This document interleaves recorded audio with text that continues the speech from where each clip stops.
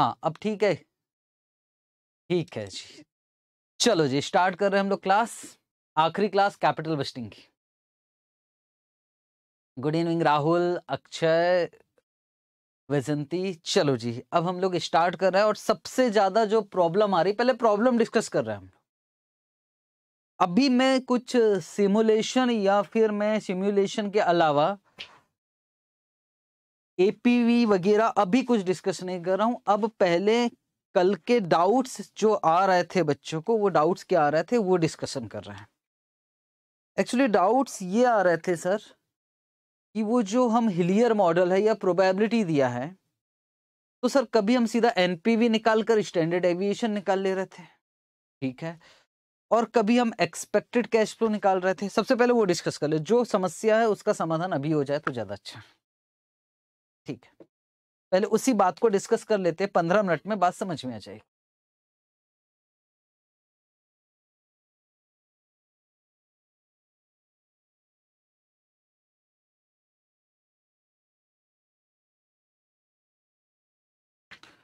Nishita, Shubhanshu good evening चलो, अब समझते हैं। देखो, क्या हो सकता है? समझ, समझना मेरी बात। First year, second year. बिल्कुल बारीकियों से समझ लेना ताकि आगे हमें क्वेश्चन कैसे करना ये बातें समझ में आ जाए। अगर मैं लिखता हूँ यहाँ probability point five point three point two ठीक है सर। और यहाँ कैश फ्लो लिख रहा हूँ five hundred six hundred seven hundred second year में भी five hundred, six hundred, seven hundred. इस तरह से तीन चार पाँच साल तक चल रहा है। ठीक है। और प्रोजेक्ट में पैसा लगा है, मान लो, वन थाउज़ेंड। ठीक है? ठीक है, सर। तो यार, हम लोग क्या करते पहले वो समझते मैं अभी दो ही साल का ले रहा हूँ। आपको बस थोड़ी सी बारीकियाँ समझा दूँ कि यार क्वेश्चन में आप फंस रहे हो तो वो फंस होना कि सर हमारे जेब से आज जा रहा है वन थाउज़ेंड। बिल्कुल। एक बार डिसीज़न ट्री सोचते हैं। सर, पहले साल में आएगा दो पॉसिबिलिटी है। यस। दो नहीं यार, तीन पॉसिबिलिटी है इस बार। तीन पॉसिबिलिटी। कितना कितना आ सकता है? तो फाइव हंड्रेड हो सकता है, सर। और सिक्स हंड्रेड हो सकता है। और सेवन हंड्रेड। और क्या प्रोबेबिलिटी है? पॉइंट फाइव पॉइंट थ्री और पॉइंट टू ठीक है। आगे क्या हो सकता तो आगे फिर एक, दो, तीन, एक, दो, तीन, एक, दो और तीन। और कितना कितना हो सकता है? तो हो सकता है फिर से फाइव हंड्रेड फिर से सिक्स हंड्रेड और फिर से सेवन हंड्रेड फिर से फाइव हंड्रेड फिर से सिक्स हंड्रेड और फिर से seven hundred five hundred six hundred और सेवन हंड्रेड और प्रोबेबिलिटी वही है point five point three point two point five point three point two point five three और टू सवाल बस इतना सा है, ये जो सेकेंड ईयर के कैश फ्लो है ये डिपेंडेंट है कि इंडिपेंडेंट। फिर से बताना आराम से। बस मैं आपका पंद्रह मिनट लूँगा, पंद्रह मिनट में सारी बातें क्लियर करूँगा। हाँ जी, ये फ़र्स्ट ईयर है। और ये सेकेंड ईयर। है तो बताइए कि ये परफेक्टली डिपेंडेंट है, अक्षय, कहीं गड़बड़ है? परफेक्टली डिपेंडेंट में ऐसा नहीं होता। परफेक्टली डिपेंडेंट अलग बात थी। परफेक्टली डिपेंडेंट में फाइव आया तो अगले साल भी फाइव हंड्रेड ही आएगा। शुभांशु का कहना ये डिपेंडेंट है और निशिता का कहना इंडिपेंडेंट है। निशांत का भी इंडिपेंडेंट है? Independent independent independent. क्योंकि यार, फ़र्स्ट ईयर में चाहे कैश फ्लो 500 आए तो भी यही तीन आएगा। 600 आए तो भी यही तीन आएगा। 700 आए तो भी यही तीन आएगा। ओके? तो चाहे 500 आए 600 आए 700 आए किसी भी हालत में यही आने वाला तो ऐसा कैश फ्लो इंडिपेंडेंट कहलाता है। ठीक है। अब यार दो तरीके थे। पहला तरीका क्या था? पहला तरीका ये था कि सर हम एक्सपेक्टेड कैश फ्लो निकाले। ठीक है? और एक्सपेक्टेड कैश फ्लो सर इसमें ईयर वाइज आई थिंक हाँ यही मैं समझाने की कोशिश कर रहा हूँ। यार क्योंकि यहाँ कैश फ्लो जितना है, यहाँ भी उतना ही कैश फ्लो है। तो दो तरीके थे। या तो एक्सपेक्टेड कैश फ्लो निकालिए, या तो एक काम कीजिए, ये मानिए कि फ़र्स्ट ईयर में भी 500 आएगा और सेकेंड ईयर में भी एक सिनारियो ये हो गया। यहाँ भी 600 और यहाँ भी 600 और यहाँ भी 700 यहाँ भी 700 क्योंकि यार इसका अगर आप एवरेज करोगे तो ये 700 ही आएगा। ठीक है। तो क्या हम इसमें डायरेक्ट एनपीवी निकाल सकते थे? यस इसमें मैं क्या करता था, क्योंकि यार इतना लंबा में कौन एक्सपेक्टेड कैश फ्लो हालाँकि कौन सा मॉडल लगेगा? हर्ट्स मॉडल लगेगा कि हिलियर लगेगा? जरा बताओगे हर्ट्स या हीलियर इंडिपेंडेंट है तो हर्ट्स लगेगा कि हिलियर मॉडल लगेगा। अगर मुझे एक्सपेक्टेड कैश फ्लो निकालना तो standard deviation of cash flow one Hillier लगेगा। इसमें कोई अगर हिलियर लगाना है तो। एक तो तरीका ये हो गया कि सर हम हिलियर मॉडल से काम कर सकते हैं। हिलियर मॉडल से काम कर सकते हैं। ठीक है, ये डन है। दूसरा तरीका ये है तो हिलियर मॉडल से क्या, अगर मैं कहूँ एक्सपेक्टेड एनपीवी निकालना है तो एक ऐसे निकाल सकता हूँ, ऐसे कैश फ्लो और इसका प्रेजेंट वैल्यू निकाल के एक्सपेक्टेड एनपीवी निकल सकता है। Okay, sir. दूसरा तरीका यह है कि मान लो फ़र्स्ट ईयर, पहले फ़र्स्ट ईयर 500 सेकेंड मतलब मैं सोच रहा हूँ, या तो ये 500 500 आएगा, या तो सेकेंड ईयर में 600 600 आएगा, या तो सेवन तो मैं तीन एनपीवी निकाल लेता हूँ और उसको मैं प्रोबेबिलिटी से मल्टीप्लाई कर देता हूँ तो भी क्या आंसर वही आएगा? हाँ सर तीन एनपीवी निकाला, पहले साल 500 लिया सेकेंड ईयर 500 लिया पहले साल 600 लिया सेकेंड ईयर 600 लिया, फिर 700 लिया 700 लिया और फिर मैंने तीन एनपीवी निकाला और उसको एक्स तो हमारा काम आराम से हो जाएगा। अधिकतर ऐसे क्वेश्चन में, अधिकतर ऐसे क्वेश्चन में, जिसमें यहाँ भी कैश फ्लो जितना है, यहाँ भी उतना ही है। जो पहले साल का कैश फ्लो है, वही दूसरे साल का भी कैश फ्लो है। ऐसे केसेस में हम एनपीवी निकाल लेते हैं। अलग अलग सिनारियों में। 500 500 मानकर एनपीवी निकाल लेते हैं 600 600 और 700 700 ठीक है तो जब एनपीवी निकल जाता है, उसका हम एक्सपेक्टेड एनपीवी निकालकर स्टैंडर्ड डेविएशन निकाल लेते हैं। हमको इसमें ज़रूरत नहीं पड़ती हिलियर मॉडल से, हालाँकि वो भी कर सकते हो। यहाँ तक ठीक है। यहाँ तक कोई समस्या है क्या? कंडीशन क्या है? कंडीशन है, पहले साल जितना, दूसरे साल भी उतना तीसरे साल भी वही, चौथे साल भी वही तब की मैं बात कर। ठीक है सर। अब सुनो आगे समस्या।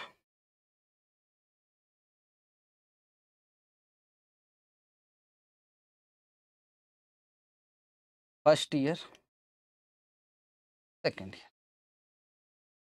Point five, point three, point two. Five hundred, six hundred, seven hundred.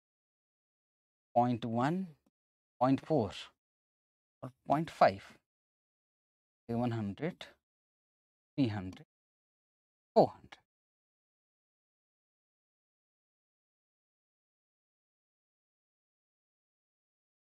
ठीक अब रोहन का कहना है, सर, ये परफेक्टली डिपेंड डिपेंडेंट में हर्ट्स मॉडल लगेगा ना? हाँ जी परफेक्टली डिपेंडेंट में हर्ट्स मॉडल लगेगा, कोई शक की बात नहीं है। पर ये जो कैश फ्लो है, ये कैसे कैश फ्लो में फिर से समझाने की कोशिश करो। अब ध्यान से देखना। सर, कितना लग रहा है? वन थाउज़ेंड तीन कंडीशन हो गई। एक, दो, तीन। फाइव हंड्रेड सिक्स हंड्रेड और सेवन हंड्रेड और क्या प्रोबेबिलिटी है? पॉइंट फाइव पॉइंट थ्री और पॉइंट टू ठीक है सर अब तीन कैश फ्लो फिर से। लेकिन अब 500, 600, 700 नहीं है। अब कितना है? अब है 700 सेकेंड ईयर में। 300 और 400 फिर से 700 300 और 200 और फिर से 700, 300 और 200 और प्रोबेबिलिटी है point one point four point five point one point four, point five, point one, point four, point five. ठीक है? फिर से पहला क्वेश्चन ये कैश फ्लो सेकेंड ईयर का डिपेंडेंट है कि independent first year second year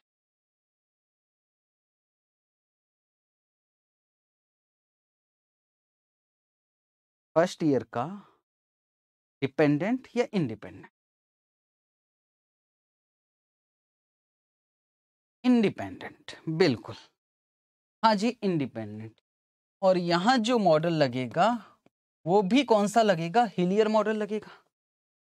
पर इस कंडीशन में, इस कंडीशन में, क्योंकि फ़र्स्ट ईयर का कैश फ्लो अलग है सेकेंड ईयर का कैश फ्लो अलग है तो इस कंडीशन में मैं ये नहीं मान सकता कि 500 में आएगा, दो साल तक, चलो यार, तीन एनपीवी निकाल लेते और काम खत्म करते तीन एनपीवी निकालकर काम खत्म नहीं कर सकते इस कंडीशन में मुझे यहाँ का एक्सपेक्टेड कैश फ्लो निकालना पड़ेगा और यहाँ का एक्सपेक्टेड कैश फ्लो निकालना पड़ेगा।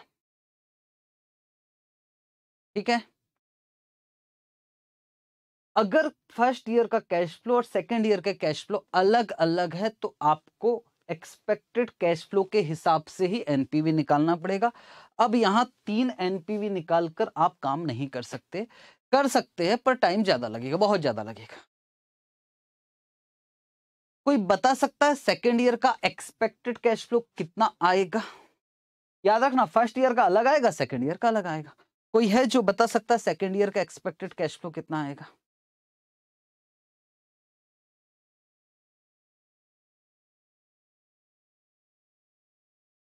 मैं भी तो देखूँ कितना पढ़ा है। सेकेंड ईयर का एक्सपेक्टेड कैश फ्लो कितना आएगा?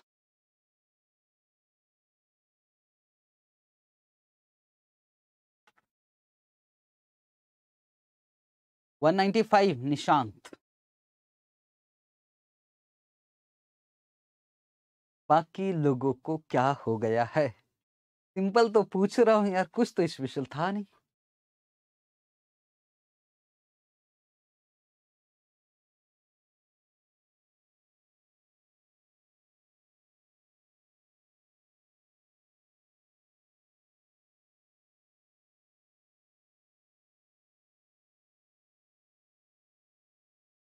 मेरे ख्याल से आप जवाब नहीं दे पा रहे हो। सेकेंड ईयर का एक्सपेक्टेड कैश फ्लो कितना आएगा? निशांत का आंसर आया 195 मैं भी चेक कर लेता हूँ।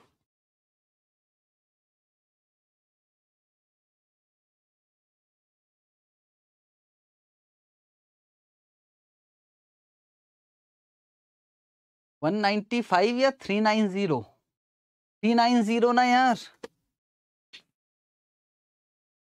Three nine zero. Exactly three nine zero. बिल्कुल सही मोनालिशा निशिता, सबका थ्री नाइन ज़ीरो। और कैसे निकाला आपने? Simple sir seven hundred into point one plus four hundred into point four plus four hundred into point five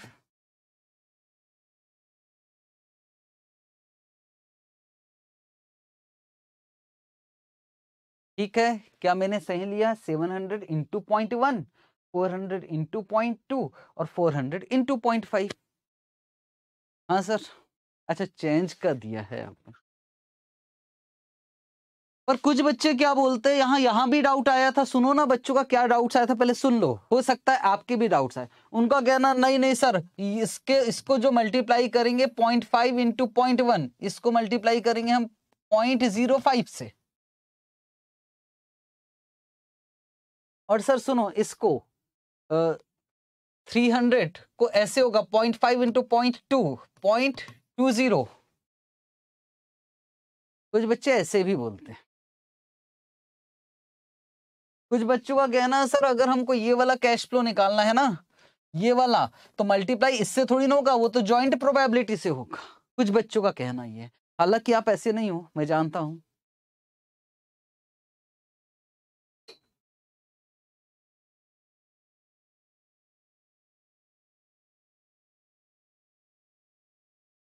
अगर मैं कहूँ, सुनो गया, अब सुन ही लो। अगर मैं जॉइंट प्रोबेबिलिटी से मल्टीप्लाई करूँ या सीधा मल्टीप्लाई कर दूँ आंसर एक ही आना है आंसर एक ही आएगा बेटे आंसर एक ही आएगा। इट मींस हम सेकेंड ईयर के कैश फ्लो को सीधा भी मल्टीप्लाई करेंगे तो सेकेंड ईयर का एक्सपेक्टेड कैश फ्लो उतना ही आएगा जितना आप जॉइंट प्रोबेबिलिटी से मल्टीप्लाई करोगे। उसकी वजह है कि ये प्रोबेबिलिटी सेम है, सारी प्रोबेबिलिटी सेम है। और कैश फ्लो भी उस हिसाब से सेम है। खास बात समझने की कोशिश करते हैं जो अंतर है वो समझते हैं अब इसको हम ज़्यादा नहीं खींचेंगे। मुद्दे की बात कर रहा हूँ। अगर अगर अगर यहाँ भी 500, 600 और 700 होता। 500, 500, 600, 600 और 700, 700 इस तरह से होता। मतलब हर साल जो कैश फ्लो है वो उतना ही होता तो फिर हम सीधा तीन एनपीवी निकालते और प्रोबेबिलिटी से मल्टीप्लाई कर देते आंसर आ जाता। तीन एनपीवी निकलता। पर पहले साल का कैश फ्लो अलग है, दूसरे साल का अलग है, तीसरे साल का अलग है तो फिर हमको एक्सपेक्टेड कैश फ्लो से मल्टीप्लाई करना है और एक एनपीवी निकालना ठीक है? ठीक है, सर। तो एक तो एनपीवी निकाल के कर लीजिए या तो एक्सपेक्टेड कैश फ्लो बच्चों बहुत परेशान है कि सर एनपीवी निकाल के करेंगे कि एक्सपेक्टेड कैश फ्लो के? सुनोगे अब अब जवाब देना। जल्दी जल्दी जवाब देना। ये क्वेश्चन नंबर थर्टीन हो चुका थर्टी सेवन हो चुका है। क्या फ़र्स्ट ईयर का कैश फ्लो अलग है? सेकेंड ईयर का कैश फ्लो अलग है? थर्ड ईयर का कैश फ्लो अलग है? यस तो क्या किया जाए इसके लिए? सर, यहाँ का एक्सपेक्टेड कैश फ्लो निकालो, यहाँ का भी एक्सपेक्टेड कैश फ्लो निकालेंगे, यहाँ का भी एक्सपेक्टेड कैश फ्लो निकालेंगे और एनपी भी निकालेंगे। ठीक है, यहाँ तक? हाँ सर। जब ये अलग हो, ये अलग हो, ये अलग हो तो एक्सपेक्टेड कैश फ्लो निकालेंगे और हाँ जी, अब एक्सपेक्टेड कैश फ्लो निकालेंगे और काम करेंगे। ठीक है, सर, ये बात हमको समझ में आ गई। कैश फ्लो अलग अलग है। अगला, और एनपीवी कैसे निकालेंगे और जब कैश फ्लो ही निकाल रहे हो अलग अलग साल का तो हिलियर मॉडल लगाएँगे और काम कर देंगे। हिलियर मॉडल से हम स्टैंडर्ड एविएशन अब ये वाला, अब ये वाला क्वेश्चन सुनना ध्यान से, ये वाला क्वेश्चन इसमें सर फ़र्स्ट ईयर का कैश फ्लो अलग है सेकेंड ईयर का कैश फ्लो अलग है और थर्ड ईयर का कैश फ्लो अलग है. तो यहाँ भी एक्सपेक्टेड कैश फ्लो निकालेंगे एक्सपेक्टेड कैश फ्लो निकालेंगे एक्सपेक्टेड और एनपीवी निकाल लेंगे. ठीक? अब यहाँ ध्यान से देखना, ये वाला पा प्रोजेक्ट वाई यहाँ बोले, हर साल आएगा चालीस मतलब फ़र्स्ट ईयर में ये आएगा, सेकेंड ईयर में भी होगा चालीस, फोर्टी फाइव, फिफ्टी, फिर आएगा चालीस, फोर्टी फाइव, फिफ्टी। इसको हम दो तरीके से निकाल सकते हैं। किस तरीके से निकाल सकते हैं? या तो फोर्टी फोर्टी फोर्टी लेके एक बार एनपीवी निकाल लीजिए, forty five forty five forty five लेके दूसरी बार एनपीवी निकाल लीजिए, तीसरी बार एनपीवी निकाल लीजिए प्रोबेबिलिटी से मल्टीप्लाई कर दीजिए तो एक्सपेक्टेड एनपीवी आ जाएगा, और फिर आप स्टैंडर्ड एविएशन निकाल लीजिए। हाँ जी सुभांशु मैं बस यही कहना चाहता हूँ, आपको देखना पड़ेगा कि फ़र्स्ट ईयर का कैश फ्लो अलग है, सेकेंड ईयर का अलग है, थर्ड ईयर का अलग है। तो फिर आपको क्या काम करना पड़ेगा? हर साल का एक्सपेक्टेड कैश फ्लो निकाल के काम। लेकिन हर साल का कैश फ्लो एक जैसा है। इधर का जितना है, अगले साल का भी उतना है। तो फिर आप चाहो तो तीन एनपीवी निकाल लिए, क्योंकि तीन प्रोबेबिलिटी और काम कर लीजिए। ये वाला क्वेश्चन बताओ। जल्दी से, कैसे किया जा सकता? हालाँकि ये तो परफेक्टली वाला है ना परफेक्ट तो परफेक्टली वाला तो इसमें तो कोई दिक्कत नहीं होगी। इसमें कोई दिक्कत नहीं होगी। ये वाला बताना। ये वाला, इसका आंसर चाहिए मुझे। कैसे किया जाए इसको? एक से पाँच साल। हर साल एक लाख एक लाख एक लाख एक लाख। फिर सेकेंड ईयर में एक लाख। सर, इसका मतलब क्या है? वन वन पॉइंट वन और one point two. Second year में भी one one point one one point two. फिर one one point one one point two. क्या हम तीन एनपीवी निकाल सकते हैं? यस प्रीति एक्सपेक्टेड एनपीवी निकाल लेंगे। बस बात खत्म, तीन एनपीवी निकाल के काम कर लेंगे। दैट्स इट बस। तो अब मेरा जो समझाना था, वो खत्म हो गया कि यार हमको कब एक्सपेक्टेड एनपीवी निकालना और कब एक्सपेक्टेड कैश फ्लो निकालना। दैट्स इट और मुझे ज़्यादा कुछ नहीं करवा। हाँ वैजंती तीन एनपीवी निकल के काम कर। ठीक है, sir.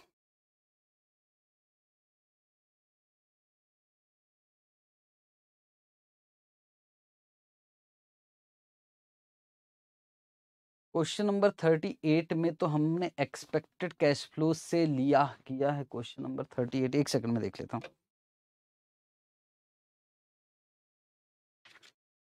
Question number thirty eight में जो प्रोजेक्ट एक्स है, उसको तो एक्सपेक्टेड कैश फ्लो से ही करना है। जो प्रोजेक्ट वाई है, उसको आप एक्सपेक्टेड कैश फ्लो से भी कर सकते हो, उसको आप एन, तीन एनपीवी निकाल के भी कर सकते हो। प्रोजेक्ट वाई की मैं बात कर रहा हूँ, दोनों कंडीशन एक्स के लिए तो आपको एक्सपेक्टेड एनपीवी निकालना पड़ेगा। एक्सपेक्टेड कैश फ्लो निकालना पड़ेगा प्रोजेक्ट एक्स का। मैं प्रोजेक्ट एक्स की बात कर रहा हूँ। हाँ क्वेश्चन नंबर थर्टी एट तो एक्सपेक्टेड कैश फ्लो से ही होगा ना प्रोजेक्ट एक्स हाँ प्रोजेक्ट वाई का आप दोनों तरीके से निकाल सकते हो शुभ। उसमें आपके पास, क्योंकि हर साल उतना ही उतना है तो इसलिए काम हो गया, आप एक्सपेक्टेड कैश फ्लो से भी निकाल सकते हो, पर इसको आप एक्सपेक्टेड एनपीवी से भी निकाल सकते हो, इसमें कोई दिक्कत नहीं है। क्वेश्चन नंबर थर्टी एट में परफेक्टली डिपेंडेंट नहीं है। परफेक्टली डिपेंडेंट नहीं है। ये तो हिलियर मॉडल लगाया आपने, बिल्कुल आप कर सकते हो। प्रोजेक्ट वाई के लिए कोई दिक्कत नहीं है। मैंने कहा ना, एक या तो हिलियर मॉडल से कर लीजिए, या तो आप तीन एनपीवी निकाल लीजिए प्रोजेक्ट वाई में। तीन एनपीवी अलग अलग और आप तीन एनपीवी के हिसाब से expect standard deviation of NPV निकाल लीजिए तो भी चल जाएगा। प्रोजेक्ट वाई के लिए मैं, प्रोजेक्ट एक्स की मैं बात कर रहा हूँ, उसके लिए आपको हिलियर मॉडल ही लगाना पड़ेगा, आपको एक्सपेक्टेड कैश फ्लो निकालना पड़ेगा।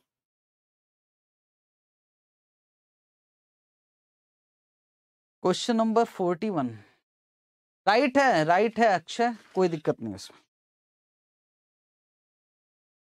question number forty one perfectly dependent है तो इसके इस मैटर पे मैं बात नहीं करूँगा ये तो इजीली हो, हो गया होगा। क्वेश्चन नंबर फोर्टी वन में कोई प्रॉब्लम नहीं। चले और इसका वीडियो भी रिकॉर्ड किया हूँ अच्छी तरह से रिकॉर्ड किया हूँ तो उसमें और एक बार देख लेना अगर डाउट आएगा तो पर मुझे नहीं आएगा मैंने हर एक क्वेश्चन में बता रखा कि इसमें मैंने क्या कर रखा। ठीक? ठीक। अब मैं आगे चलूँ?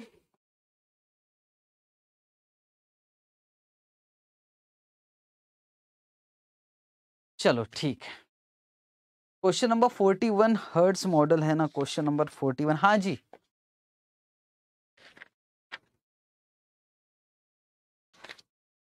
फोर्टी वन हर्ट्स मॉडल है हंड्रेड परसेंट।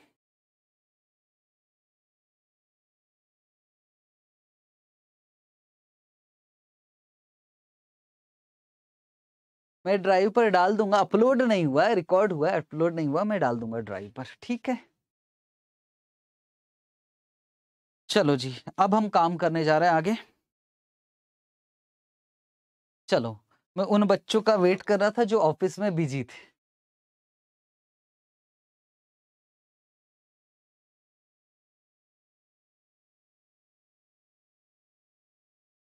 दो टॉपिक बचे हुए थे।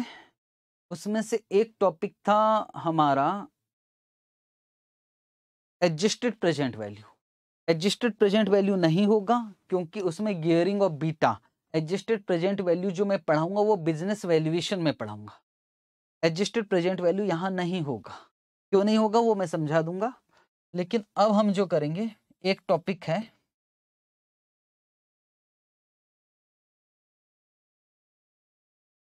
सिमुलेशन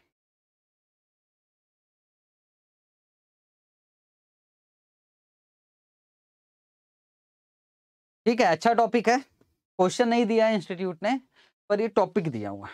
तो चलो इसको खत्म करते सबसे बड़ा काम ये खत्म करें, फिर सोचेंगे क्या करना।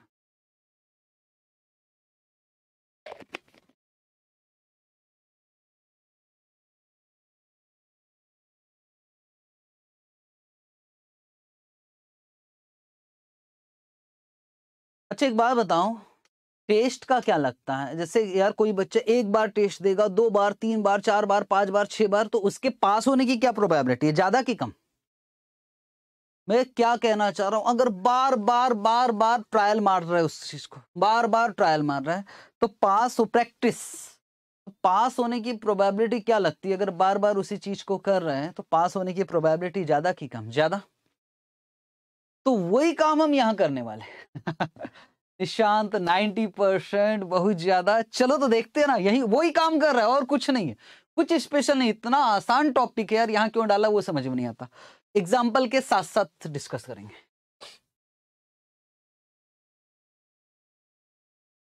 Example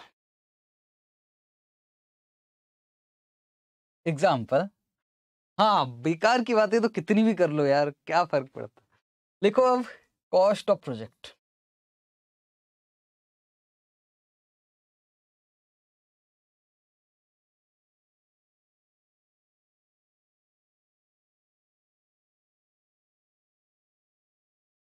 rupees one lakh twenty thousand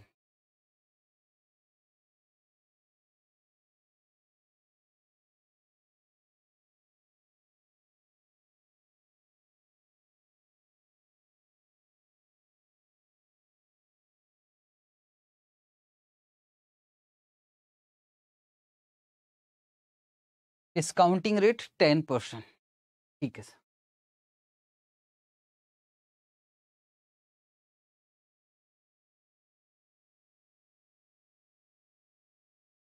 TF80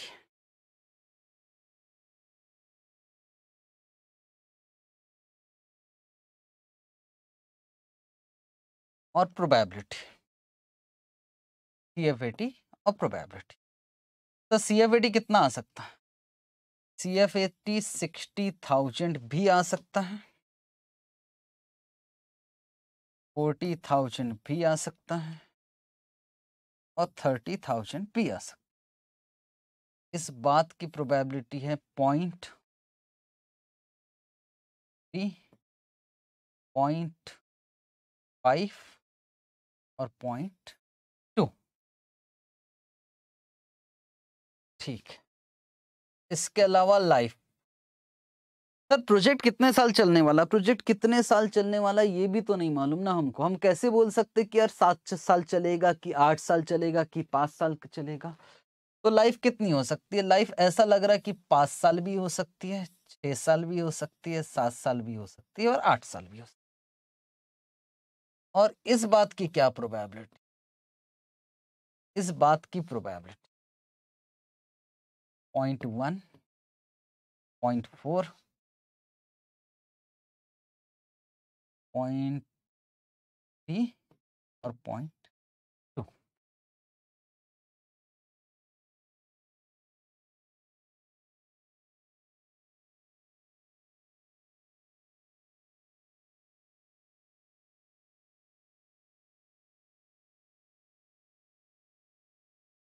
random number cash flow चलो लॉटरी लगाते अब सुनना, मैं आपसे कोई भी नंबर बोल रहा हूँ। कहाँ से स्टार्ट करे सर नंबर दो डिजिट बोल तो दो डिजिट कहाँ से स्टार्ट करते? तीन भी बोल सकते हो, चार भी बोल सकते एक्शन एक काम करो।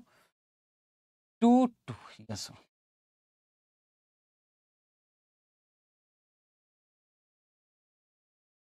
one, to. Ninety nine तक।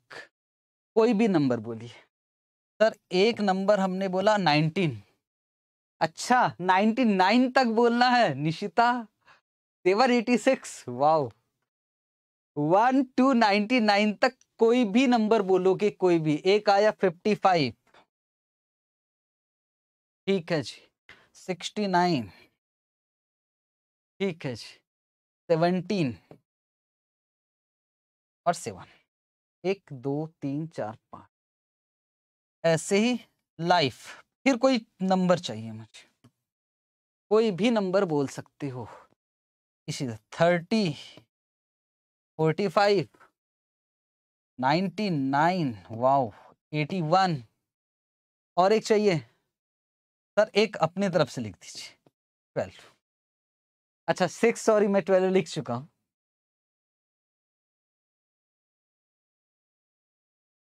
लिखना भी है कॉपी में। किशन, हो गया हो गया किशन। एक, दो, तीन, चार, पाँच। एक, दो, तीन, चार, पाँच। पाँच पाँच नंबर लिया बहुत ज़्यादा टाइम नहीं है कि मैं दस दस डिजिट तक काम कर। शुभ का कहना ज़ीरो ज़ीरो वो वन में कहा आता है? चलो। आगे लिखोगे। Using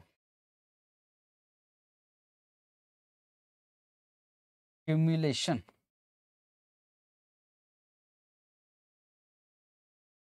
technique calculate.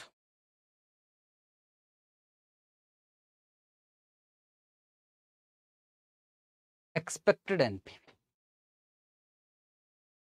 अब सुनो, कैश फ्लो कितना आ सकता है? कैश फ्लो कितना आ सकता है? सर, सिक्सटी थाउज़ेंड भी आ सकता है फोर्टी भी आ सकता है थर्टी भी आ सकता। है पर ये थोड़ी मालूम है यार कितना आएगा, ये कंफर्म नहीं मालूम। हालाँकि हम प्रोबेबिलिटी लिख रहा है, पर ये कुछ रैंडम नंबर की हेल्प से कुछ करने वाले हैं। कुछ करने वाले, वो क्या करने वाले हैं? लाइफ कितने साल चल सकती है? पाँच भी, छह भी, सात भी, आठ भी? तो चलो ना यार, मन से कुछ भी काम करते मन से। और बार बार करते हैं। सोचो, कुछ भी सोच, सोचने का क्या? सर, हर साल आएगा साठ हज़ार? ठीक। और छह साल तक आएगा। सर, हर साल आएगा साठ हज़ार? या हर साल आएगा चालीस हज़ार? पाँच साल ही लाइफ है। इस तरह से सोचना पड़ेगा। कई बार ट्रायल मारेगी और कई बार से शायद कुछ निकल के आएगा। वो कैसे काम होगा, वो मैं आपको बता रहा हूँ। अब हम काम करने जा रहे हैं सिमुलेशन सिंपल टॉपिक है ऑपरेशनल रिसर्च का पार्ट है, वो गलती से यहाँ डल गया है। तो सब सबसे पहला काम क्या करेंगे? सबसे पहले लिखोगे स्टेप नंबर वन यहाँ तक लिख लिया है ना सब लोगों ने? सर, यहीं लिखूँगा। ये तो लिख लिया ना, इसको मैं रफ कर रहा हूँ।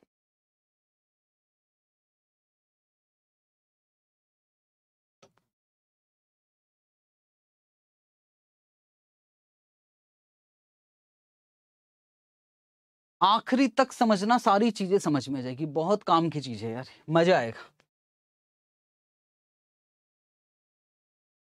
Step number one.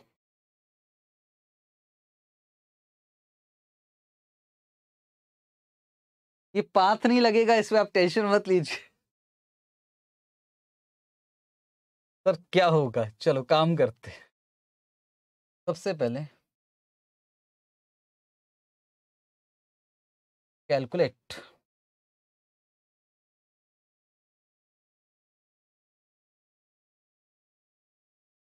Cumulative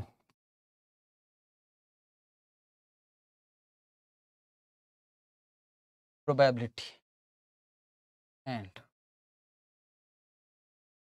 Random number range.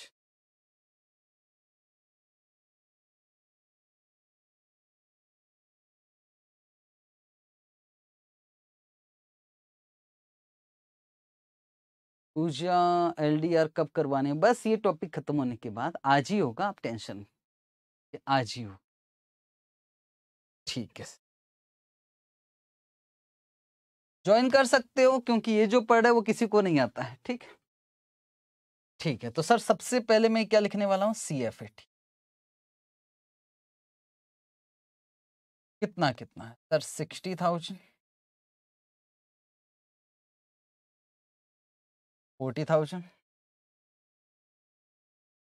और थर्टी थाउज़ेंड। क्यूमुलेटिव प्रोबेबिलिटी पहले प्रोबेबिलिटी लिख देते भाई थोड़ा सा अच्छे से कर लेते प्रोबेबिलिटी मान के चल रहा हूँ, ये क्वेश्चन है क्वेश्चन पेपर का तो प्रोबेबिलिटी तो लिखना पड़ेगा। पॉइंट थ्री, पॉइंट फाइव और पॉइंट। अब क्या लिखने जा रहा है? अब लिखने जा रहा है क्यूमुलेटिव प्रोबेबिलिटी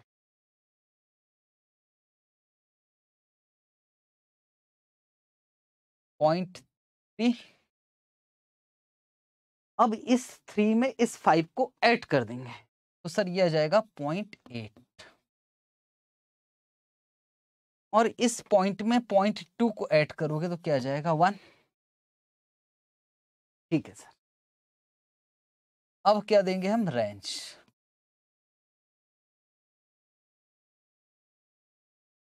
और रेंज कैसे देंगे कि पॉइंट थ्री है मतलब थर्टी परसेंट? तो रेंज जो दिया जाएगा, ये दिया जाएगा ज़ीरो टू ट्वेंटी नाइन ऐसा कर क्यों रहे सर समझाऊँगा समझाऊँगा वेट करो। और इसको कहाँ से रेंज दिया जाएगा? थर्टी टू सेवेंटी नाइन हाँ सर ऐसा हमारा किया हुआ है, कहीं ना कहीं, मैं जानता हूँ। और ये रेंज कहाँ से दोगे?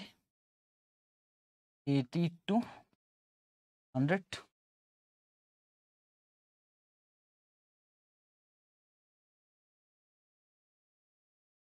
यहाँ तक हो गया सब लोगों का?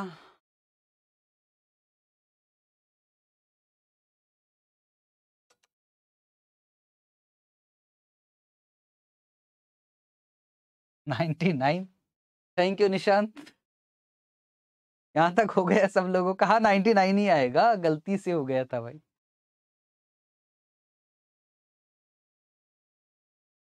चलो, अभी क्या है? हम चिट बनाएँगे। नाइनटी हाँ शुभ नाइन्टी नाइन लिख लिया लिख लिया है नाइनटी नाइन। ए भगवान।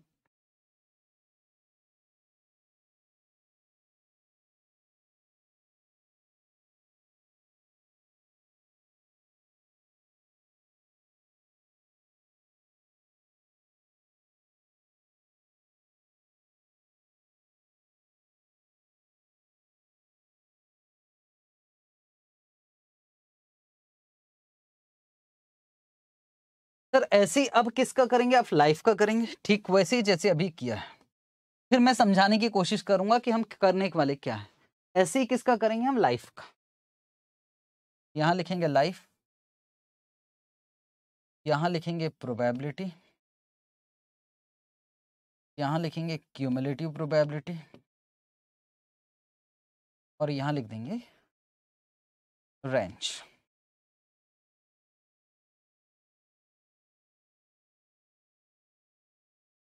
स्टेट्स जैसा है। हाँ इसी के बाद ये ऐसा नहीं है कोई टेबल में नहीं है इसी के बाद आप कर लीजिए, अब हम लाइफ के लिए रेंज निकाल रहे हैं। ठीक है लाइफ कितना है? पाँच साल।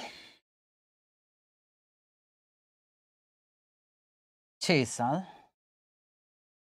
सात साल और आठ साल। Point one. Point four point three और पॉइंट टू तो point one point five point eight same table में करना है क्या? सेम टेबल में टेबल नहीं है, ये तो मेरे पास ना जगह, मैं इसको अलग अलग करना चाहता था इसलिए लाइन खींच लिया। आप सेम टेबल में भी कर सकते हो, या फिर और एक टेबल बना सकते हो, कोई दिक्कत नहीं, ऐसा कोई रूल्स नहीं और वन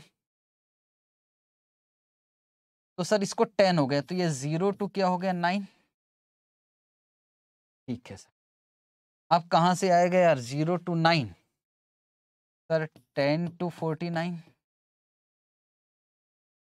और सर, यहाँ कहाँ से आएगा? फिफ्टी टू सेवेंटी नाइन और एटी टू नाइन्टी नाइन।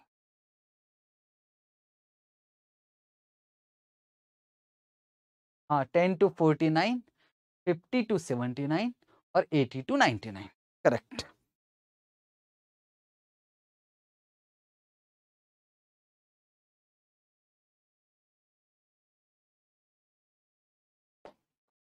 ठीक है।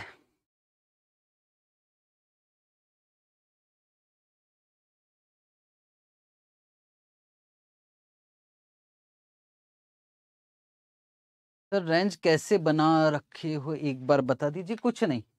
ज़ीरो पॉइंट वन को मैंने माना टेन परसेंट।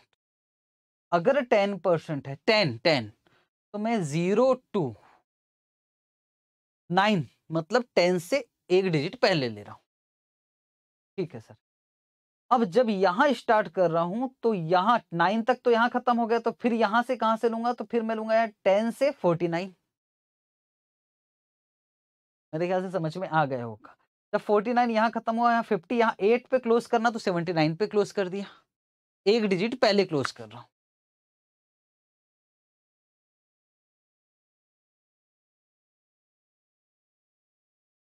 ठीक है, सर। अब करना क्या, सर? ये बताओ। दो चिट बनाना है। बहुत सारी चिट। बहुत सारी चिट बनाना है। रैंडम नंबर यार, कोई भी दो नंबर उठाने। कोई भी दो नंबर, जो जो भी दिया रहेगा ये रैंडम नंबर। रैंडम नंबर आपने ही बताया मुझे। ये दो नंबर लिखा है। एक लिखा है नाइनटीन और एक लिखा है थर्टी। अब इसको बेस लिखो, लेकर देखो नाइनटीन कहाँ पर आ रहा कैश फ्लो में।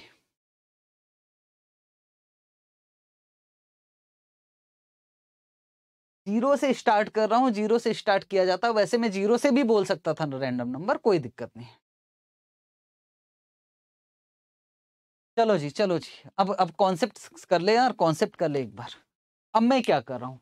मुझे रैंडम नंबर पता है। पहला वाला उठा रहा हूँ।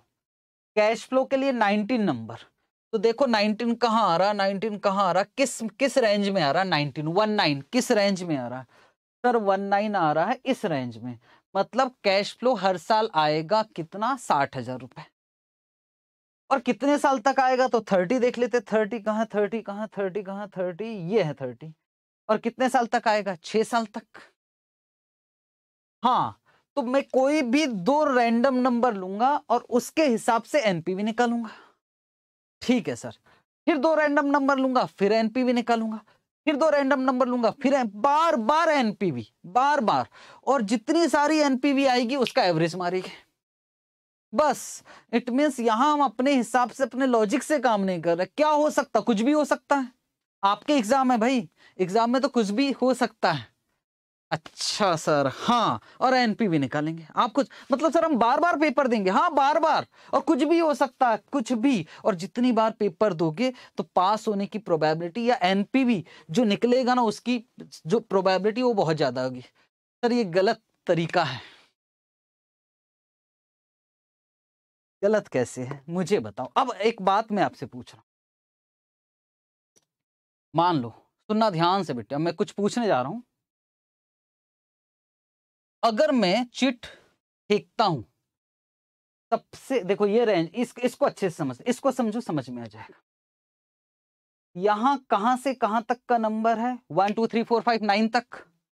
सबसे बड़ा रेंज कौन सा दिखाई दे रहा है इसमें? सबसे बड़ा रेंज कौन सा दिखाई दे रहा है? अगर मैं सबसे बड़ा रेंज की बात करूँ सर सबसे बड़ा रेंज या फिर आप यहाँ की बात कर लो, सर सबसे ज़्यादा अगर हम चिट फेंके और उठाए चिट तो सबसे ज़्यादा जो आएगा, क्या चांसेस है? कि कौन सा चालीस हज़ार आने के ज़्यादा चांसेस है कि नहीं है ये बताइए?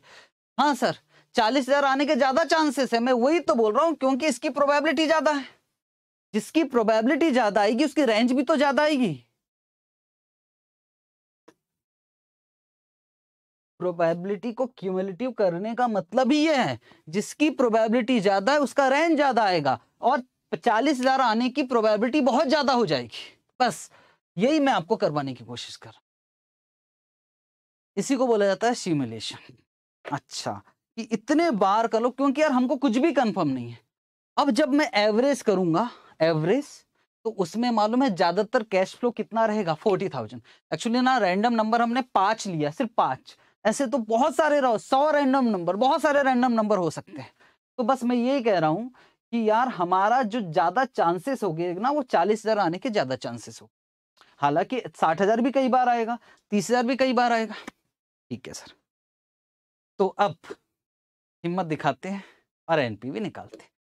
सर, ये कैसे निकालेंगे? ये रैंडम नंबर सर, हम अपने मन से लेंगे क्या?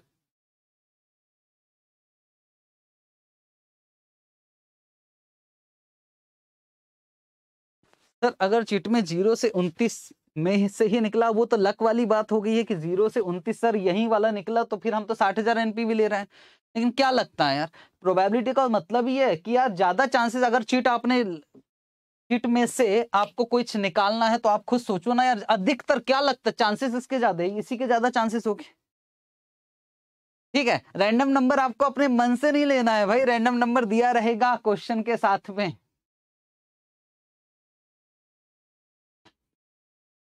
खैर आपके पास तो बहुत सारा है, बहुत सारे। हाँ प्रोबेबिलिटी तो थर्टी परसेंट खैर, अब मैं काम करवाऊं अपना, फिर बाद में सोचेंगे। क्वेश्चन ही नहीं है भाई, क्यों हम मेहनत कर रहे हैं? सिमुलेशन सिमुलेशन टॉपिक है आपको, उसका कोई क्वेश्चन नहीं दिया टीवाई के ऐसा कुछ प्रैक्टिस के लिए। ये तो मैं एग्ज़ाम्पल के थ्रू आपको समझाने की कोशिश कर रहा हूँ। एक क्वेश्चन मैंने डाल रखा जो इलस्ट्रेशन है आईसीए का। ठीक है सर स्टार्ट कर रहे हैं हम लोग। Step number two.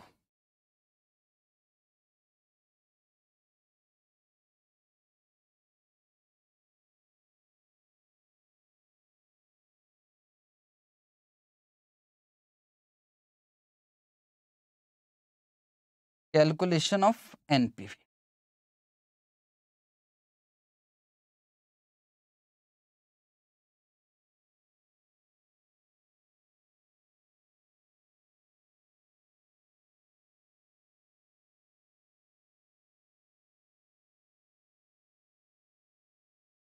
Sir दो बना लीजिए।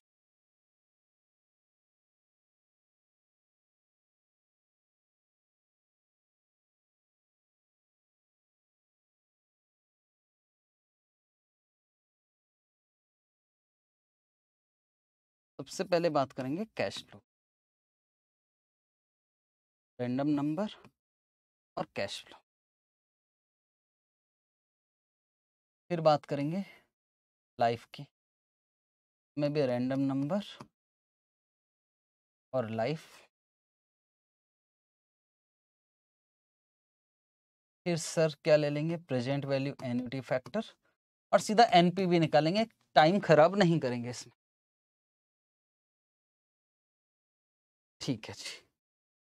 तो चलो जी एनपीवी की कॉस्ट ऑफ़ प्रोजेक्ट कितना है यार? कॉस्ट ऑफ़ प्रोजेक्ट है एक लाख बीस हज़ार।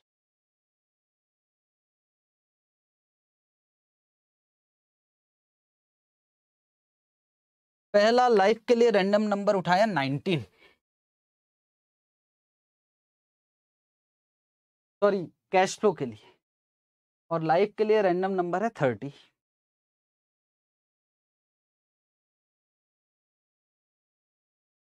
कैश फ्लो 19 में किस रेंज में आएगा? कैश फ्लो किस रेंज में आएगा? 19 यहाँ है तो हर साल कैश फ्लो आएगा साठ हज़ार.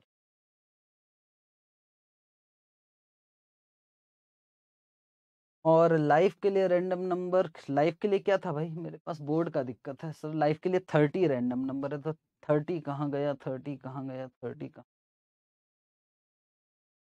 यहाँ एक, छः साल। लाइफ छः साल आएगी ना यार, बताते जाना, गड़बड़ मत कर देना। डिस्काउंटिंग रेट हमने कितना लिया था? Ten percent. टेन परसेंट का पी वी ए एफ़ छः साल का।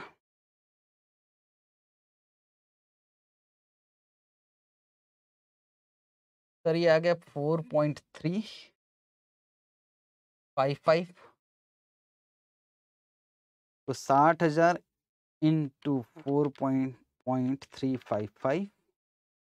Minus एक लाख बीस हज़ार। तो सर ये एन पी वी आ गया one four one three. Double O. हाँ जी सही। बस एन पी वी निकालते जाना।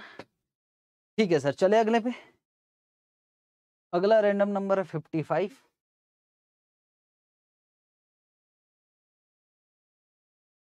और लाइफ के लिए क्या है? Forty five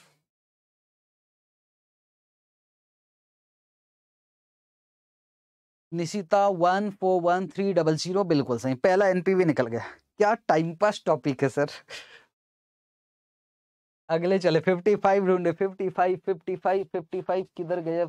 यहीं आएगा sir forty thousand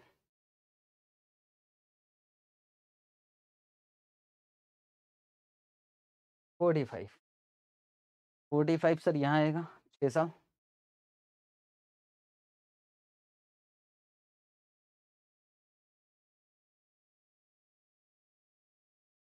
तो सर, छः साल का तो वही आएगा, four point three five five. Four point three five five. चालीस हज़ार माइनस एन पी वी आ गया fifty four, two hundred Vaijayanti बिल्कुल सही। आगे चले। अब की बार रैंडम नंबर है sixty nine ninety nine sixty nine और नाइनटीन चेक करते हैं सिक्सटी नाइन फिर वहीं आएगा। देखा, कोई मुझसे बोल रहा था कि, देखो ना बेटे, चालीस हज़ार ज़्यादा आ रहा, मैं मैं जानता हूँ, ये तो मैंने बाद में लिखा है, ये तो नंबर आप पहले ही बता चुके हैं मुझे। खैर, सिक्सटी नाइन, चालीस हज़ार।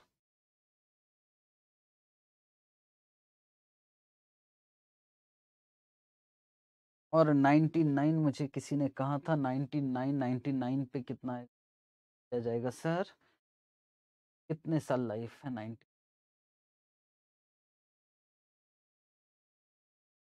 आठ arts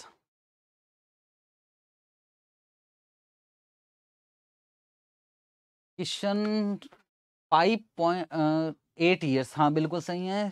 फैक्टर कितना आ रहा है यार? One divide one point one zero एक, दो, तीन, चार five point three three five, पक्का ना? मानशी हाँ sir, five point three three five. N P V बोलिए। 93 400.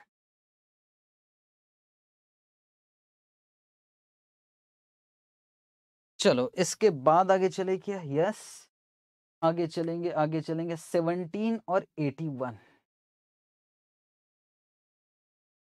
17 और 81 तो 17 पे कितना आ रहा है सर 17 पे तो 60,000 आ गया। और एटी वन पर लाइफ कितना होगा एटी वन पे वापस सर एटी ईयर्स हो गया।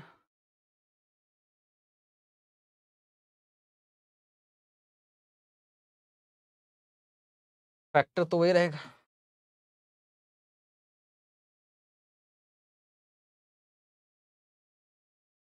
One two zero one double zero one two zero one double zero फिर आगे चले रैंडम नंबर लास्ट सेवन और ट्वेल्व सेवन और ट्वेल्व आंसर भी आ गया बच्चों का। सेवन सेवन किसी ने कहा था सेवन सेवन मतलब यहाँ सिक्सटी थाउज़ेंड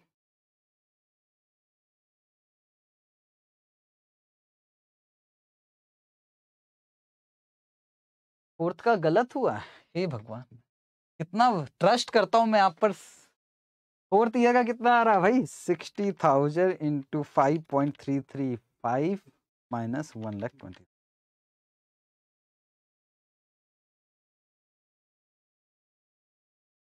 ठीक। अभी ठीक है, अभी ठीक है। Two double zero one double zero ठीक। और लाइफ है ट्वेल्व ट्वेल्व किधर आएगा? ट्वेल्व किधर आएगा? ट्वेल्व किधर आएगा? सर यहाँ आएगा लाइफ है छः सा। छः सा छः साल का तो निकला है। Four point three five five तो सर साठ हज़ार into four point three five five minus बीस हज़ार। एन पी वी वापस वही आ गया one four one three double ठीक है सर, इसके बाद क्या करते इसके बाद एवरेज कर लेते हैं। इसका टोटल मारोगे डिवाइडेड बाय कितना कितने रैंडम नंबर हो गया one two three four five five से डिवाइड करोगे तो एवरेज एन एनपीवी आ जाएगा। अच्छा sir one four one three double O plus fifty four two hundred plus ninety three four hundred plus two double zero one four one three double zero divided by five average NPV आ गया। Average NPV को क्या बोलते हैं? X बार या expected NPV बोल सकते हैं। कितना आ रहा है? One two six zero six sir, ये कैसे आया था? Six three zero three double zero divided by five sir, इसके बाद क्या करेंगे? इसके बाद स्टैंडर्ड एविएशन निकालेंगे। ये तो पता है और एवरेज भी पता हो गया one two six zero six ये सही है ना? हाँ। जब ये पता है और एक्स मीन पता है, फिर स्टैंडर्ड एविएशन निकालेंगे, वापस एक्स माइनस एक्स बार से और फिर उसके बाद लगेगा तो कोएफिशिएंट वेरी ऑफ़ वेरिएशन निकालेंगे और फिर देखेंगे कि रिस्क कितना है और जितना रिस्क है उसके हिसाब से हम डिस्काउंटिंग रेट लेंगे। उतना नहीं पूछता है आपको। ठीक? बस ये निकाल दो, कहता है, बस बात खत्म।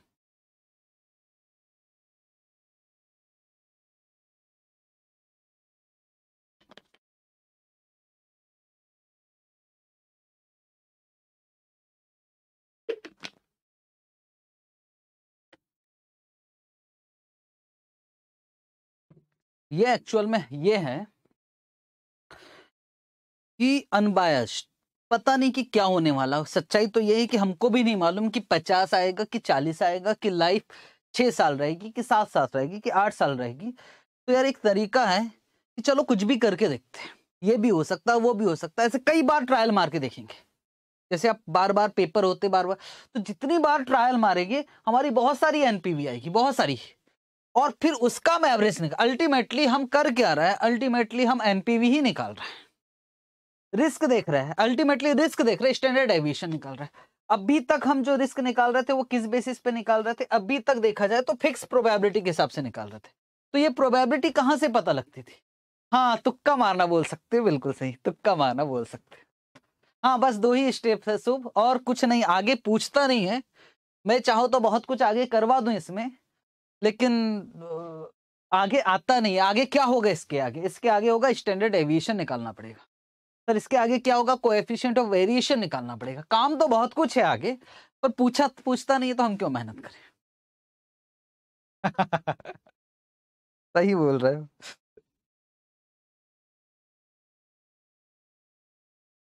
चलो मैं आपकी बातों में थ्योरेटिकल सिमुलेशन का मतलब क्या होता है? थ्योरेटिकल सिमुलेशन का मतलब होता है कि यार किसी भी चीज़ के लिए तैयारी करना। अगर मैं बोलूँ थ्योरेटिकल क्या है? थ्योरेटिकल क्या है? जैसे आर्मी में जाते तो उसके लिए बार बार ट्रायल लिया जाता है कि आपको इस तरह से और भी मॉक टेस्ट आप बहुत सारी चीज़ समझ सकते हैं। सिमुलेशन में सर्च मारोगे, बहुत सारी चीज़ मिल जाएगी। सिमुलेशन का मतलब होता है कि बार बार ट्रायल मार के देखना अलग अलग कंडीशन में अलग अलग कंडीशन। जैसे हमारा क्या था एक था सिनारियो एनालिसिस सिनारियो एनालिसिस में होता क्या था, वहाँ भी हम हर चीज़ को चेंज करते थे। तो सिनारियो एनालिसिस में ये चीज़ें हम अपने हिसाब से डिसाइड करते थे या कहीं से पता करते थे कि नॉर्मली क्या होगा। और यहाँ चीज़ें, यहाँ हम ये मान के चल रहे कि यार कुछ भी हो सकता, उस हिसाब से एनपीवी क्या आएगा, बस।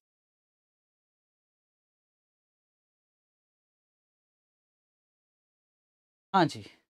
सर, इसके बिना अगर करना हो, अब इसके आगे भगवान ना करे, पूछे तो क्या करेंगे? अगर इसके आगे अगर पूछ लिया पूछ लिया तो कुछ नहीं पूछेगा। इसके आगे अगर पूछा तो एचडी निकालेंगे और काम करेंगे। दैट्स इट कोई एफिशिएंट ऑफ़ वेरिएशन पूछेगा, बस और कुछ नहीं। ठीक है? ठीक है, सर।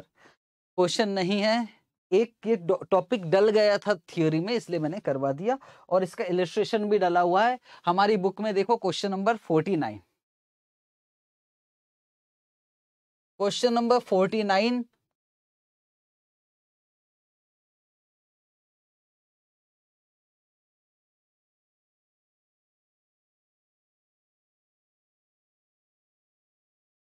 Rohan, जितने चाहे मज़े ले लो।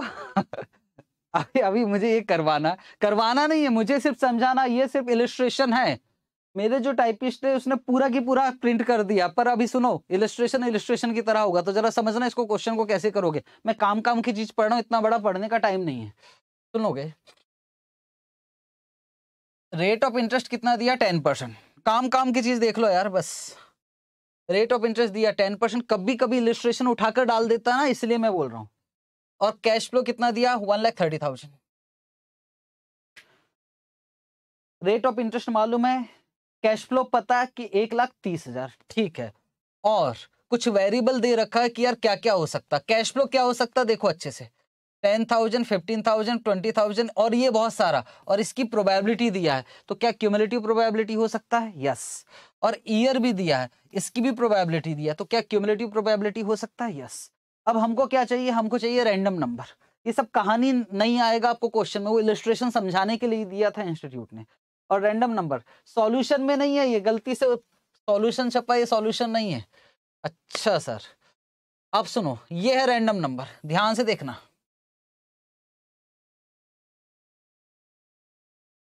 पहला काम क्या होगा सर पहला काम. मुझे बताओ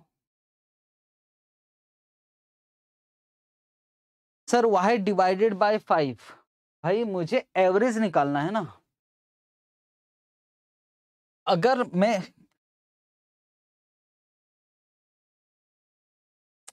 भी मेरी बात समझो, मेरी बात समझो। आपको मैं एक्स्ट्रा समझाने की कोशिश कर रहा था। अगर मैं कहूँ, आपको बस ये एनपीवी निकाल के छोड़ देना सिमुलेशन में यही होता है, ये एनपीवी निकाल कर छोड़ देना। काम खत्म। अब इसके आगे हम ये कर क्यों रहे हैं? तो मैं आपको ये समझाने की कोशिश कर रहा हूँ, अजीत इसके आगे वो अब, आपने कितना छह एनपीवी निकाल लिया।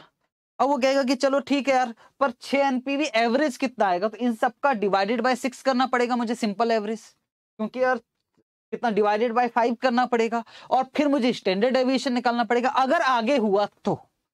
अगर नहीं हुआ तो आप यही छोड़ दीजिए। आगे पूछेगा ना स्टैंडर्ड एविएशन या मीन एनपीवी निकालिए या एक्सपेक्टेड एनपीवी निकालिए। ऐसा कुछ नहीं पूछा तो यही छोड़ दीजिएगा बात खत्म। पर अगर पूछ लिया कि एक तो सिमुलेशन टेक्निक से आप एनपीवी निकालिए, फिर एक्सपेक्टेड एनपीवी निकालिए, फिर स्टैंडर्ड एविएशन निकालिए, फिर कोएफिशिएंट इतना बड़ा तो आएगा नहीं। चलो जी रैंडम नंबर देखिए क्या? पहले सुनो ना बच्चों, सुनो सुनो सुनो, बस सुन लो थोड़ा सा। कि यार इसके बाद ये दे दिया मैंने आपको, और प्रोबेबिलिटी दे दिया लाइव दे दिया, और प्रोबेबिलिटी दे दिया। इसके बाद काम क्या करना होगा सर? रेंज बनाना होगा। वो बना लोगे आप क्यूमुलेटिव प्रोबेबिलिटी और रेंज वो किस तरह से बनेगी? वो इस तरह से बन जाएगी। ये रेंज बन जाएगी। ठीक है सर रेंज हो गया। अब क्या चाहिए सर? अब नंबर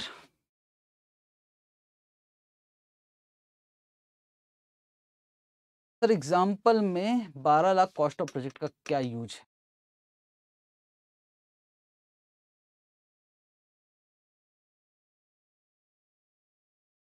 इस एग्ज़ाम्पल में। एक लाख बीस हज़ार माइनस करके ही तो एनपीवी निकाला होगा, ये एनपीवी। हे भगवान, माइनस किया कि नहीं किया मुझे नहीं मालूम। देख लूँ कि एक बार।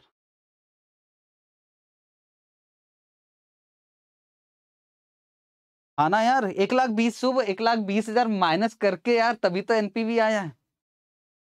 चलो यार। चलो आगे बढ़ते, आगे बढ़ रहे आगे बढ़ रहे हम लोग। अब यार ये रैंडम नंबर दिख रहा है आपको। हाँ मुझे परेशान किया जा रहा है। अभी वापस आ जाते हैं। रैंडम नंबर दिख रहा है। अब रैंडम नंबर कौन सा लेना, वो उसने यहाँ बता रखा है भाई। वो रैंडम नंबर ले लेना, उसने समझाया भी है कि रैंडम नंबर किस तरह से लेना है। ठीक है? सर होमवर्क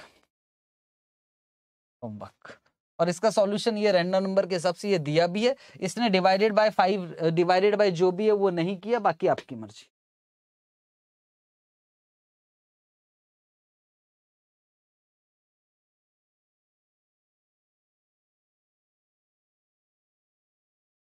सर, ये कितने रैंडम नंबर तक हमको काम करना नीचे, बताएगा क्वेश्चन इलस्ट्रेशन है यार, आप अपने हिसाब से मैनेज कर लीजिए। आप दस रैंडम नंबर लेकर भी काम कर लेना, पाँच लेकर भी काम कर लेना। ठीक है? होमवर्क है, होमवर्क हम टाइम पास नहीं करेंगे। आज खत्म करना है और लास्ट डे रिवीजन क्वेश्चंस भी हमको सेलेक्ट करना है।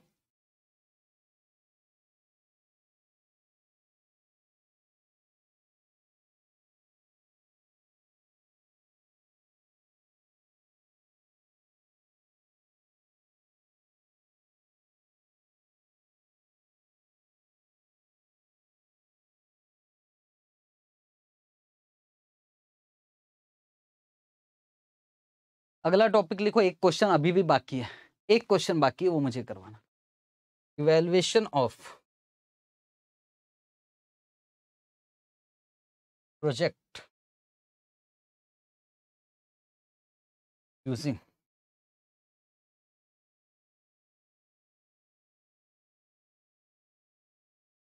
utilities.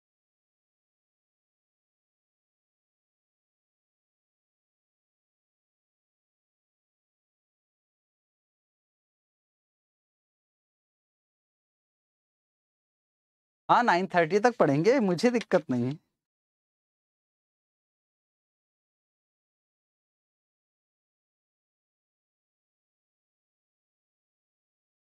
कौन सा क्वेश्चन बाकी है?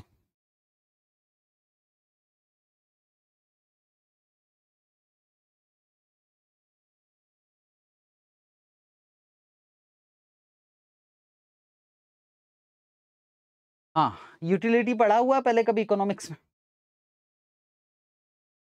हाँ क्वेश्चन नंबर फोर्टी टू बाकी इकोनॉमिक्स में कभी यूटिलिटी पढ़ा हुआ है क्या?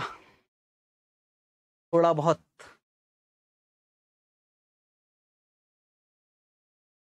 नहीं सर, कुछ नहीं पढ़ा। चलो तो कोई बात नहीं। हमें इकोनॉमिक्स आता भी नहीं वैसे भी। ज़रूरत भी नहीं है। सिंपल लैंग्वेज में समझाऊँगा। बहुत ज़्यादा हम इकोनॉमिक्स में घुसने की कोशिश नहीं करें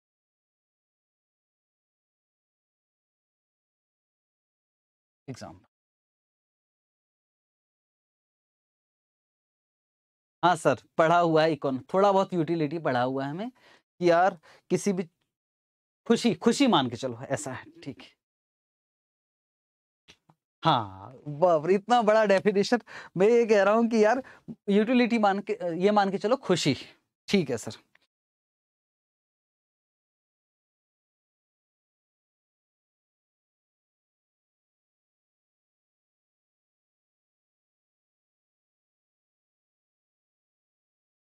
कैश फ्लोस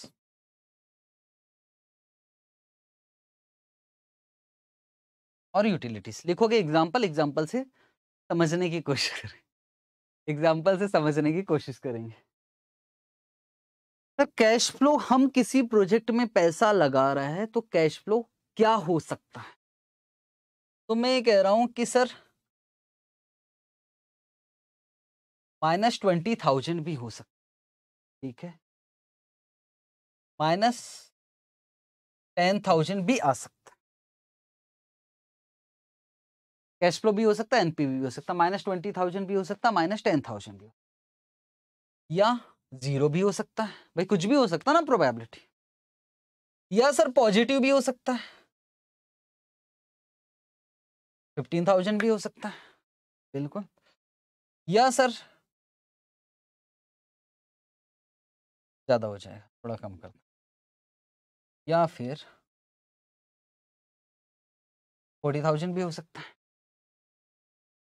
अब मैं जो खुशी है ना, मेरे अंदर जो खुशी है, उसको मैं नंबरिंग करने की कोशिश कर रहा हूँ। अच्छा सर, कैसे करोगे? कैसे करोगे? ये मेरा मुद्दे का काम नहीं है इकोनॉमिक्स में जाके पता करो कि क्वांटिफाइड कर सकते कि नहीं कर सकते। यहाँ दिया रहेगा खुशी, सर कितनी खुशी? अगर माइनस अगर कैश फ्लो नेगेटिव रहा तो मुझे दुख होगा, खुशी नहीं होगी। सर, कितना? उसको एक नंबर दे रहा हूँ मैं। और नंबर दीजिए मैंने नंबर दे दिया, माइनस एटी। और सर, माइनस टेन थाउज़ेंड रहा तो चलो यार, दुख है, पर थोड़ा दुख कम हो जाएगा। और कितना हो जाएगा? मैंने एक नंबर दिया, माइनस ट्वेंटी। और सर, ना प्लस, ना ना खुशी, ना गम। ज़ीरो। मैं नंबरिंग कर रहा हूँ भगवान।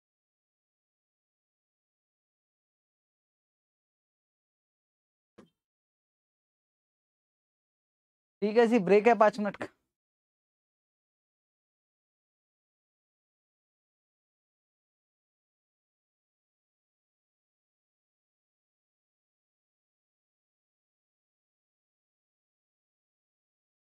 ठीक है सर। मेरे ख्याल से अब ऑडियो वीडियो में कोई समस्या नहीं है। बहुत बातें हो गई। सर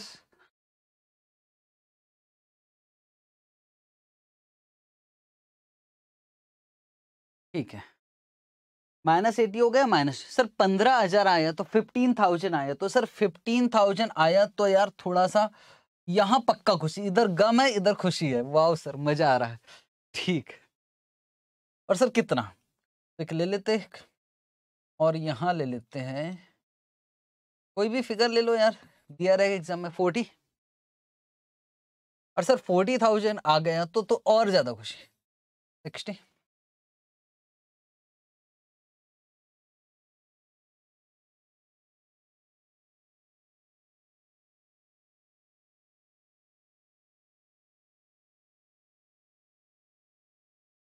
और मैंने किसी प्रोजेक्ट में पैसा लगाया प्रोजेक्ट ए। और उसका कैश फ्लो है। और उसकी प्रोबेबिलिटी। कैश फ्लो कितना आ सकता? कैश फ्लो चालीस हज़ार आ सकता है। इस बात की probability point five. Cash flow पंद्रह हज़ार भी आ सकता है। इस बात की प्रोबेबिलिटी है point three cash flow minus दस हज़ार भी आ सकता है। इस बात की प्रोबेबिलिटी है point two calculate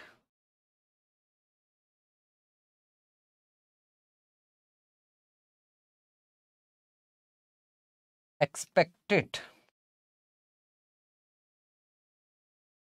utilities and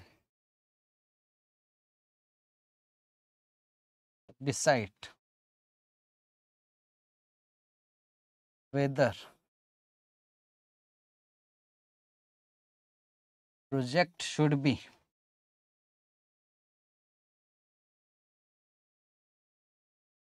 accepted खत्म करना है भाई आज टाइम पास करवा रहा हूँ मैं जानता हूँ कि मैं ये सब चीज़ें क्यों दिया है, मुझे समझ में नहीं आता। चलो, पर आया है तो कर लेते मैंने प्रोजेक्ट ए में पैसा लगाया है, कैश फ्लो चालीस हज़ार भी आ सकता है, फिफ्टीन थाउज़ेंड भी आ सकता है, टेन थाउज़ेंड भी आ। मुझे एक्सपेक्टेड कैश फ्लो नहीं चाहिए। मुझे चाहिए एक्सपेक्टेड यूटिलिटीज। निकल सकता है क्या? Yes. yes?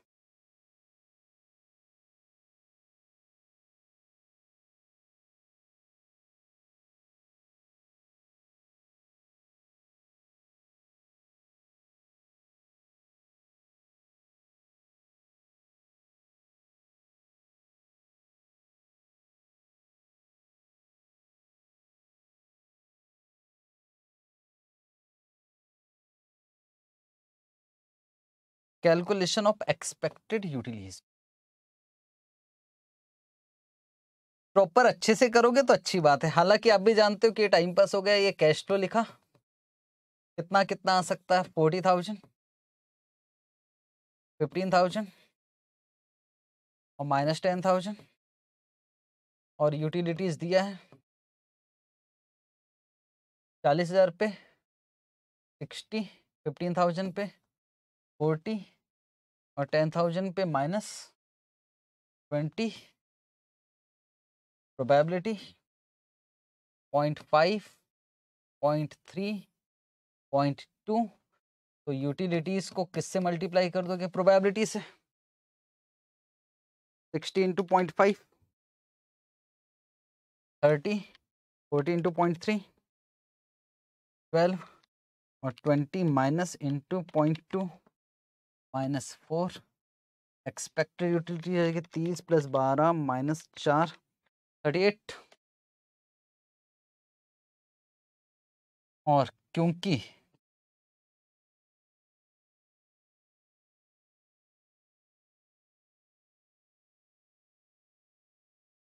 expected utility is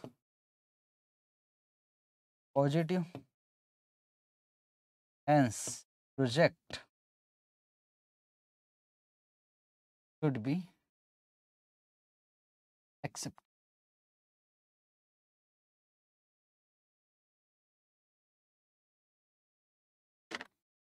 कर लेना, गलती से आ गया ना तो बैंड बच जाएगी, ये करके जाते नहीं है लोग। क्योंकि सबको मालूम है कि ये सब कुछ काम का नहीं है। इमुलेशन तो तो भी चलो चल जाएगा। ये तो कुछ है ही नहीं। है बस यही है क्वेश्चन।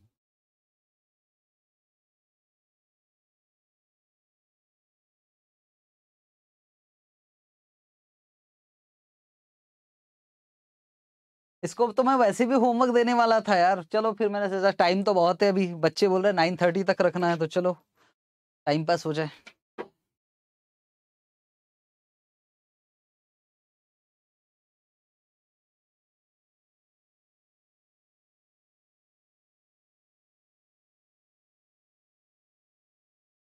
अभी कोश जी, बिल्कुल, कल यही कोशिश रहेगी। ये नोट कर लिया है, बातें कम, नोट कर लिया है क्या? कल पोर्टफोलियो है तो मुझे मालूम है कि यार सॉफ्टवेयर में जो इश्यू आ रहा है, सब कल खत्म करना। मेरे ख्याल से नोट कर लिया, मैं आगे चल रहा हूँ। Question number forty two. और ये आपके आईसीएआई का क्वेश्चन है। कोई बताएगा ये क्वेश्चन नंबर आईसीएआई का टी वाई के कौन सा है? Question number forty two institute का क्वेश्चन है। इंस्टीट्यूट का है? आईसीएआई का।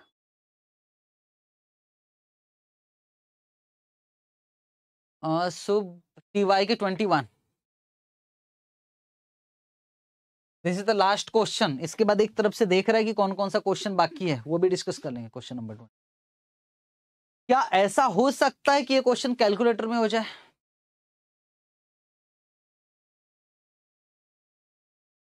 कौन सा प्रोजेक्ट सेलेक्ट करना है और क्यों यूटिलिटी दे रखा है?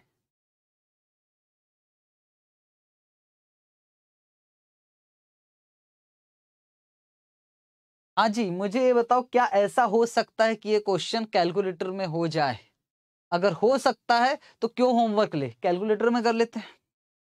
अगर हो सकता है तो। ठीक है होमवर्क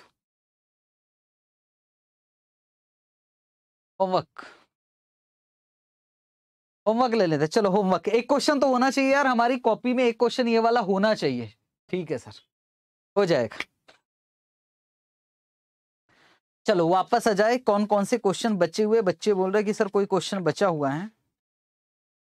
अच्छा बात हुई थी हमारी APV adjusted present value adjusted present value में हाँ क्लास कॉपी में करोगे, ज़्यादा अच्छा यार, एक क्वेश्चन रहना चाहिए। आपको सीरियसली बताऊँ, अगर ये एक बार देखा नहीं है ना, नहीं बनने वाला, वहाँ तो समझ में नहीं आएगा, बच्चे, करना क्या है भाई इस क्वेश्चन का? सीरियसली बोल रहा हूँ। लग ऐसा रहा कि यार, क्या करना है, कुछ नहीं है इसमें। लेकिन एक बार नहीं किया है ना, नहीं कर पाओगे। क्लास वर्क में ही करना है इसको प्लीज़ डाल देना क्लास वर्क में।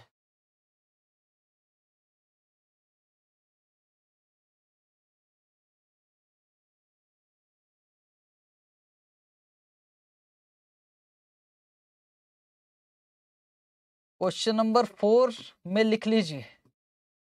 क्वेश्चन नंबर फोर करेंगे हम सिक्योरिटी वैल्यूएशन के साथ में।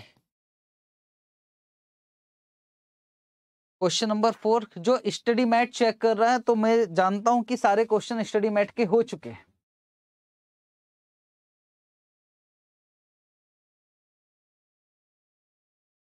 क्वेश्चन नंबर फोर्टी नाइन नहीं question number forty nine question number forty nine homework है क्वेश्चन नंबर फोर्टी नाइन तो टाइम पास है, उसको ना भी करोगे तो चलेगा। एग्ज़ाम्पल कर लिया ना आपने सिमुलेशन का तो भी चल जाएगा। एग्ज़ाम्पल सफिशियंट है यार एग्ज़ाम्पल से हो जाएगा वो पर फिर भी एक बार देख लेना कि यार वो रैंडम नंबर किस तरह से दिया है, बस, बाकी और कुछ नहीं है। और क्वेश्चन नंबर फिफ्टी ये एडजस्टेड प्रेजेंट वैल्यू है, वो यहाँ नहीं पढ़ रहे, एक टॉपिक पढ़ाऊँगा, वहाँ बहुत ज़्यादा डिटेल में, जिसका नाम है बिज़नेस वैल्यूएशन ये वाला जो टॉपिक है, वो यहाँ नहीं पढ़ेंगे, हम बिज़नेस वैल्यूएशन के साथ में पढ़ेंगे। स्टडी मैट में दे तो दिया है।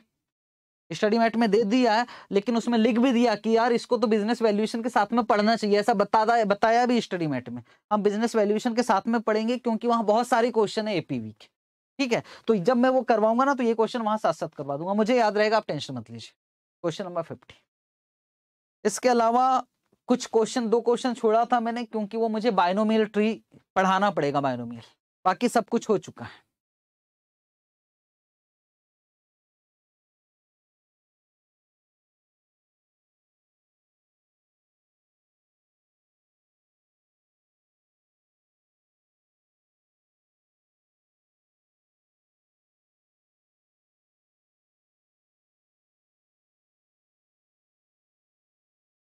Question number forty nine homework में मैं क्वेश्चन नंबर फोर की बात कर रहा था।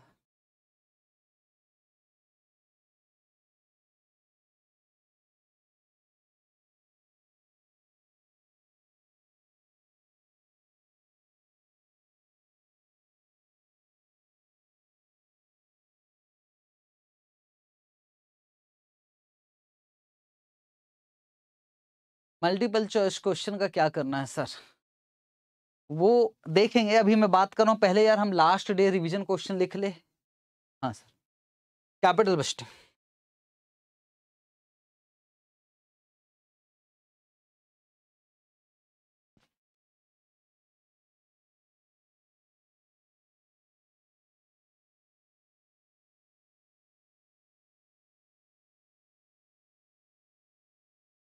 सबसे पहले स्टार्ट किया था हमने इन्फ्लेशन से।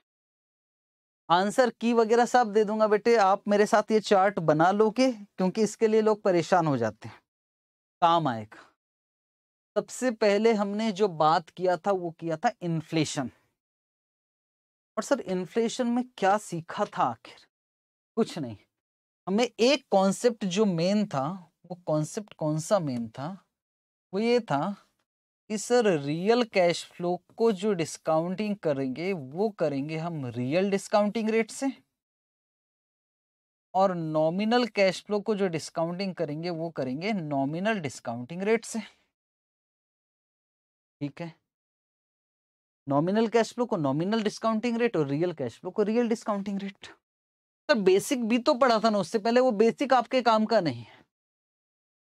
और सर एनडीआर आता था तो हम कैसे निकालते थे? अगर एनडीआर हमको निकालना रहता था नॉमिनल डिस्काउंटिंग रेट तो बेटे आप एक फैक्टर इनटू फैक्टर करते थे। फैक्टर इनटू फैक्टर हाँ सर, याद आया।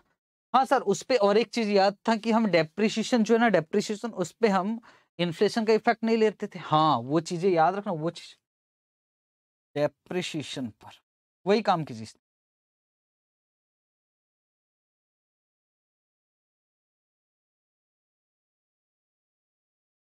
नो इन्फ्लेशन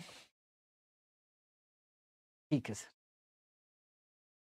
अगर मैं अब इन्फ्लेशन के टॉपिक पे आता हूँ, सीधा इन्फ्लेशन पे आता हूँ तो इसमें से हमें कौन कौन से क्वेश्चंस ऐसे हैं, जो लग रहे हैं कि यार हमें रखना चाहिए, बाकी हम टाइम पास वाले क्वेश्चन बिल्कुल नहीं रखेंगे।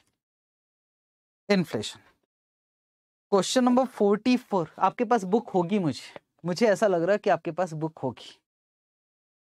तो पेज नंबर सिक्सटी सिक्स पे आओगे। उसमें क्वेश्चन नंबर फोर्टी फोर और फोर्टी फाइव एक जैसे हैं। तो कोई भी एक क्वेश्चन हमको रखना है। अच्छा क्वेश्चन है। तो सर, इसके लिए हम क्वेश्चन नंबर फोर्टी फोर रखेंगे। यस फोर्टी फाइव नहीं करेंगे।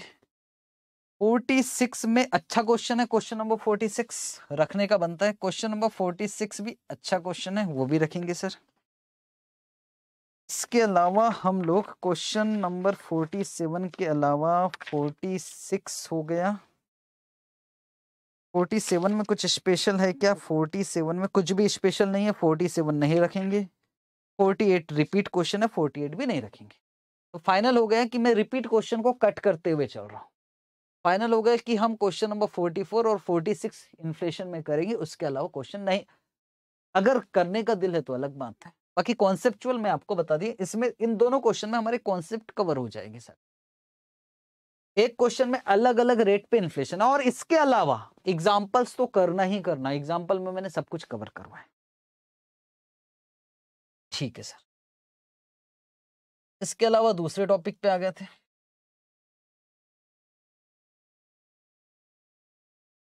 दूसरा क्या किया था सर?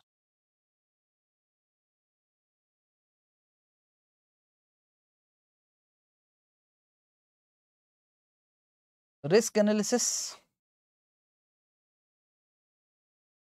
और रिस्क एनालिसिस के अंदर पहले पॉइंट में जो हमने किया था, वो किया था प्रोबेबिलिस्टिक अप्रोच या स्टैटिस्टिकल अप्रोच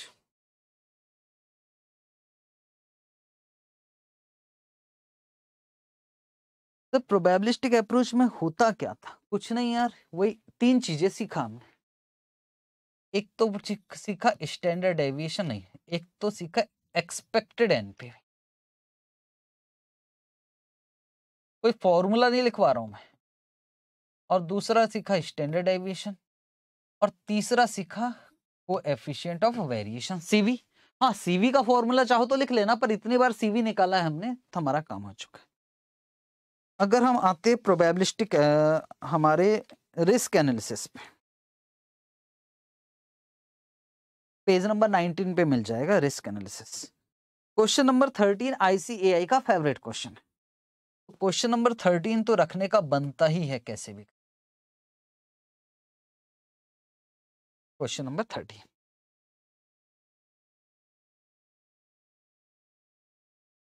हाँ जी, बिल्कुल सही है। लिख लेना सीवी भूल जाते हैं, पर आप नहीं भूलोगे।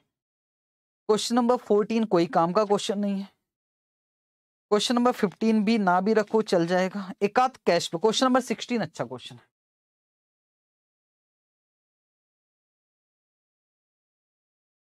सर क्वेश्चन नंबर सेवनटीन नहीं आएगा क्वेश्चन नंबर एटीन सब ये सिंपल सिंपल क्वेश्चन थे। क्वेश्चन नंबर नाइनटीन को वेरिएंस वेरिएंस निकालना स्टैंडर्ड एविएशन निकालना ज़रूरत नहीं है। क्वेश्चन नंबर ट्वेंटी से एक बार पता लग जाएगा कि यार कैश फ्लो से कैसे कोएफिशिएंट हो। हाँ क्वेश्चन नंबर ट्वेंटी रख लेते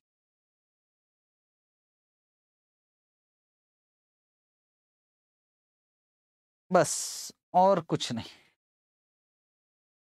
सर इसके बाद क्या किया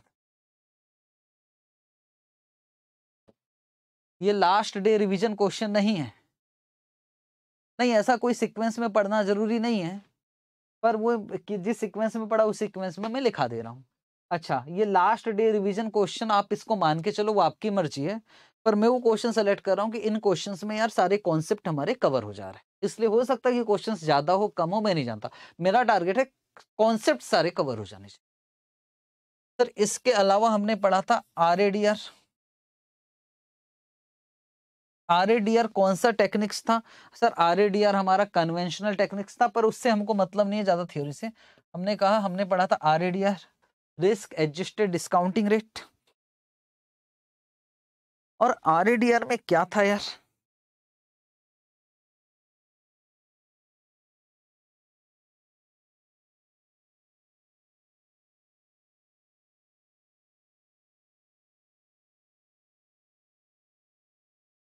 रिस्क ज़्यादा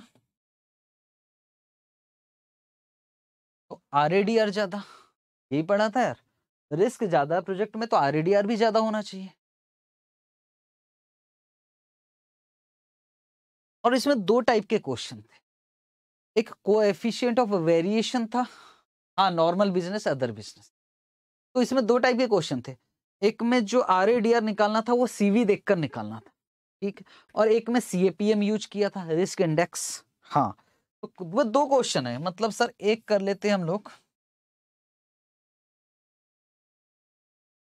क्वेश्चन नंबर ट्वेंटी वन जिसमें सीवी दिया है और सीवी के हिसाब से हमको डिस्काउंटिंग रेट लेकर एनपीवी निकालना था। और एक था क्वेश्चन नंबर ट्वेंटी टू जिसमें हमने सीएपीएम इक्वेशन का यूज़ किया। हाँ रिस्क ज़्यादा तो आर ज़्यादा, बिल्कुल सही। और इसके बाद और एक चीज़ पढ़ा था। और सर, क्या पढ़ा था? इसके बाद इसके बाद पढ़ा था certainty equivalent.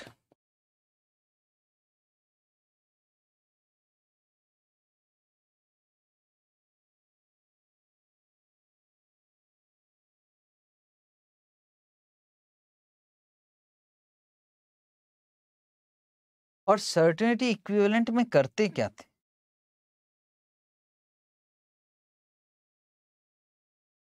Sir certainty equivalent में हमको कुछ फैक्टर दिया रहता था। सर्टेनिटी कोएफिशिएंट दिया रहता था यस तो हम क्या करते थे, सर? हम निकालते थे risk free cash flow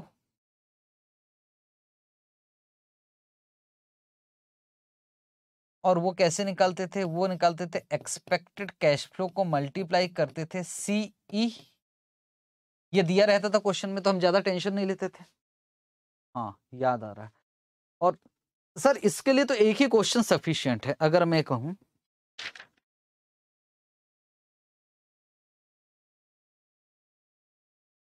question number twenty four कर लोगे तो वो sufficient question number twenty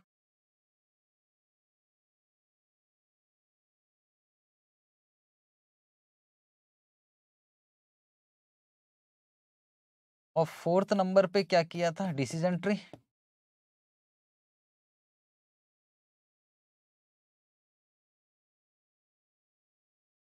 decision tree का एक बिल्कुल नॉर्मल, वो डिसीज़न थ्री, ट्री था ही नहीं एक्चुअल। तो मैं ज़्यादा बात नहीं कर सकता। एक नॉर्मल क्वेश्चन था और वो था क्वेश्चन नंबर ट्वेंटी सिक्स। और क्वेश्चन नंबर ट्वेंटी सिक्स में हमने क्या सीखा था तो याद करो उसमें हम आ, हाँ एक गोल्ड माइन वाला तो करना ही पड़ेगा भाई। वो तो हालाँकि वो इंस्टीट्यूट का क्वेश्चन हमारे मॉड्यूल का क्वेश्चन नहीं है आईसीएआई के एसएम का। पर क्वेश्चन नंबर ट्वेंटी सिक्स में याद करो सबसे पहला जो हमने किया था बेस्ट एनपीवी वर्स्ट एनपीवी ये सब निकाला था बहुत सारी चीज़ें। हमने टोटल छह एनपीवी निकाला था वो वाला क्वेश्चन तो आपको करना पड़ेगा। वो अच्छा क्वेश्चन है।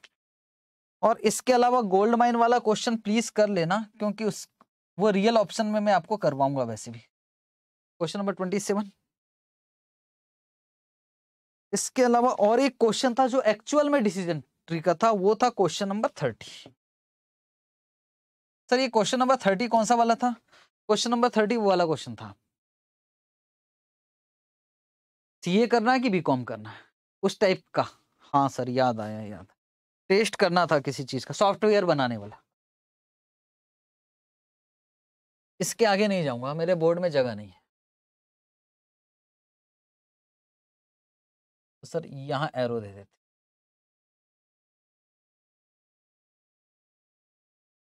इसके बाद सर, अदर टेक्निक्स पढ़ा था, रिस्क एनालिसिस की अदर टेक्निक्स भी पढ़ा था हम लोगों ने, yes.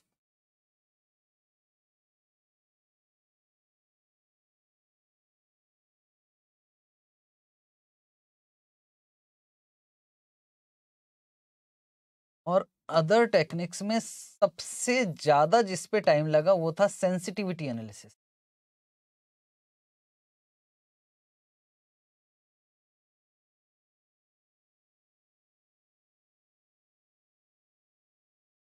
sensitivity analysis sensitivity analysis जो हम करते थे, वो हम अनफेवरेबल डायरेक्शन में कुछ करते थे यार पता नहीं, याद नहीं आ रहा। हाँ। कुछ सोचते थे, बुरा बुरा सोचते थे और एक समय पे एक ही फैक्टर चेंज करते थे। One factor one time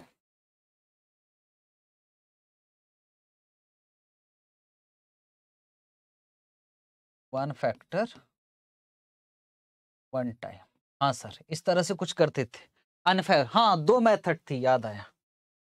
और उसकी दो मेथड एक मेथड में आप चेंज करते थे। और दूसरा था एनपीवी क्या करते थे उसमें? ज़ीरो करते थे। ठीक है मेथड का हाँ मार्जिनल अप्रोच बोल सकते हैं मार्जिन ऑफ़ सेफ्टी पर ऐसे याद रहेगा एक में चेंज करते थे, क्योंकि मेथड का कोई नाम तो नहीं है, वो हम ही दे रहे हैं, एक में चेंज करते थे, दस परसेंट बढ़ाना, कम करना, और एक में ऐसा कुछ करते थे कि एनपीवी ज़ीरो आ जाता था। और आप लोगों को पता है धीरे धीरे कौन सा मेथड में मज़ा आने लगा था? सेकंड मेथड में, जिसमें एनपीवी ज़ीरो लेकर करते थे। उसके क्वेश्चन कौन कौन से सर वो भी देख लेते सेंसिटिविटी। एक क्वेश्चन है, क्वेश्चन नंबर थर्टी वन, वो मैं नहीं करवाऊँगा, क्योंकि वही सेम एग्ज़ाम्पल मैंने आपको एग्ज़ाम्पल तो वैसे भी करोगे आप तो क्वेश्चन नंबर थर्टी वन में रिविजन में नहीं डाल रहा हूँ, क्योंकि एग्ज़ाम्पल करने वाले अगर अच्छे क्वेश्चन की बात कर लें, क्योंकि सेम एग्ज़ाम्पल मैंने दो मेथड से करवा रखा ठीक है। तो सर, एक क्वेश्चन नंबर थर्टी टू अच्छा क्वेश्चन है। क्वेश्चन नंबर थर्टी टू अच्छा question.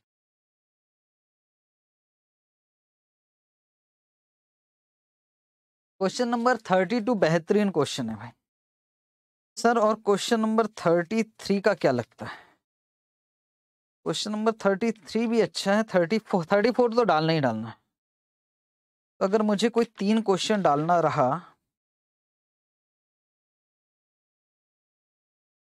क्या लगता है? Thirty three thirty three easy था यार। तो thirty four thirty five, thirty four, thirty five.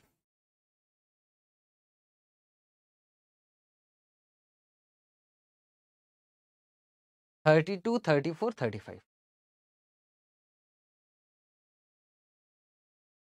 ठीक है सर सेंसिटिविटी एनालिसिस में बस इतने क्वेश्चन है। हर क्वेश्चन अलग अलग है ठीक है? और, बेहतरीन क्वेश्चन आप ये मत सोचना कि ये बन जाएगा तो ये भी बन जाएगा। ये क्वेश्चन अलग है इसमें अलग है इसमें एक पॉइंट एक इसमें एक पॉइंट अलग है उस एक पॉइंट की वजह से मैंने थर्टी फाइव डाला ठीक है सर सेंसिटिविटी एनालिसिस भी हो गया। उसके बाद सिनेरियो एनालिसिस है तो सिनेरियो एनालिसिस ना करो यार क्योंकि कुछ है नहीं है हमको बार बार एनपी उसकी जगह क्योंकि आप हर्ट्स मॉडल और हिलर हिलियर मॉडल कर रहे हो ना तो आपको ज़रूरत नहीं है फिर किसी भी तरह से। तो सिनारियो एनालिसिस पे मैं फोकस ही नहीं कर रहा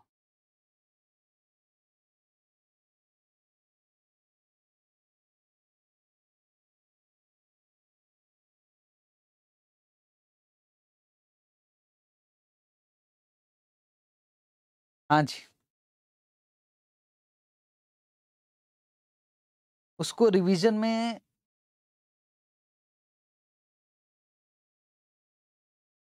नहीं, एक पॉइंट डाल सकते हो रिवीजन में, पर थर्टी फाइव पूरा कर लेते वो वाला पॉइंट उस पॉइंट की वजह से, एक पॉइंट की वजह से मैंने रिवीजन में डाला है इसको। ठीक है सर, आगे चले? यस मैं थोड़ा सा आगे चल रहा हूँ। थर्टी सिक्स काम का नहीं है सिनेरियो एनालिसिस काम का नहीं है। अब वो जो कल पढ़ा था कौन कौन सा मॉडल पढ़ा था? Hertz and Hillier model replacement ओहो, मैं तो भूल गया था। रिप्लेसमेंट भी तो था डेंजर वाला टॉपिक।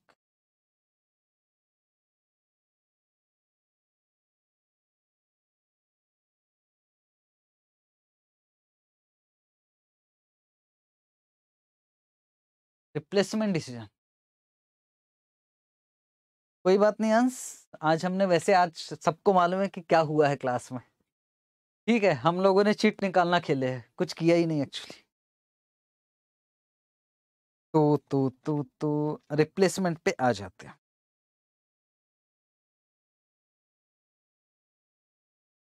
रिप्लेसमेंट में क्वेश्चन नंबर फाइव करना होगा आपको इस पे मैं लिखवा नहीं रहा हूँ, ये तो हमको रिप्लेसमेंट बचपन से करते आ रहा है question number five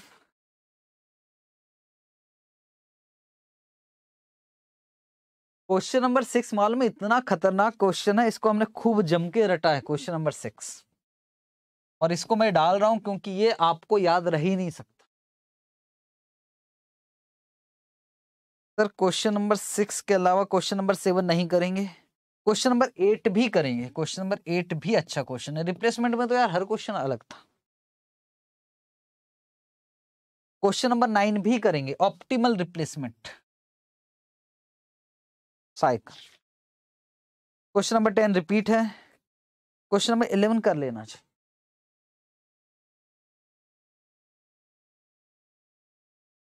question number twelve नहीं करेंगे।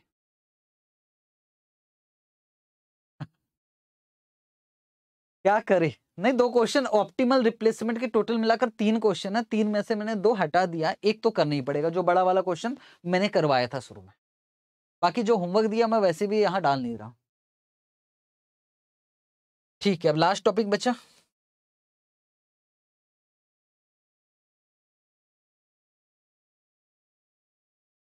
और क्या पढ़ा था सर हम लोगों ने? और पढ़ा था हमने। हर्ट्स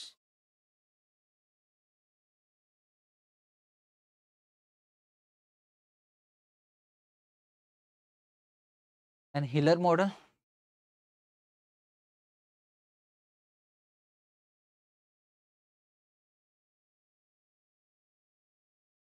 और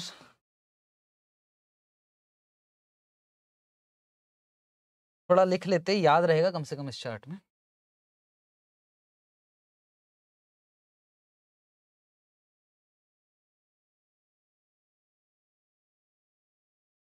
हर्ट्स मॉडल यूज़ होता था, जब परफेक्टली डिपेंडेंट। हाँ सर।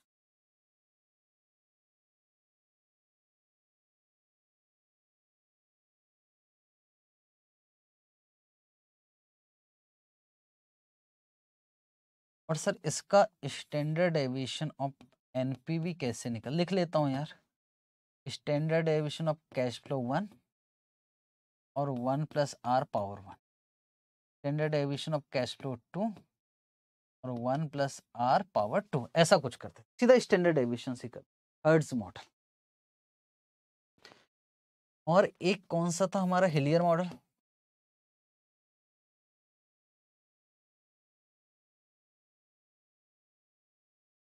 और हिलियर मॉडल में क्या सीखा था? Sir, cash flow independent.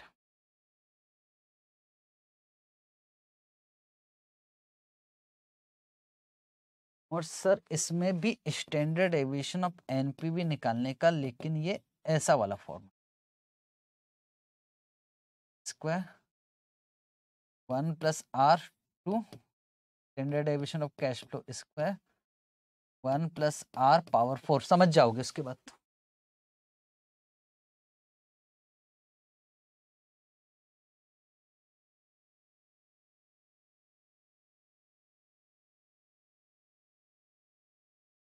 हाँ मैं चेक कर रहा हूँ।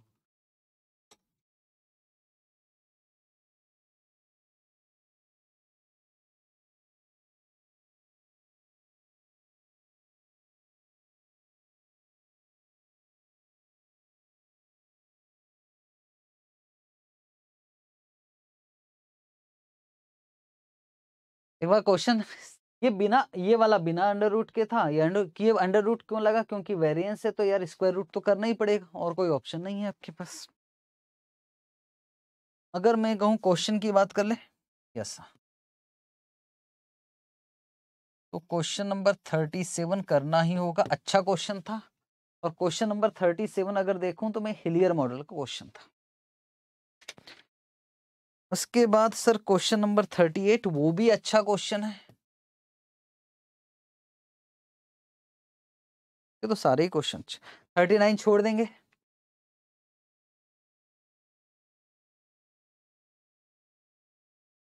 सर, अगर कैश फ्लो ओनली डिपेंडेंट हुए तो हिलियर मॉडल ही लगेगा।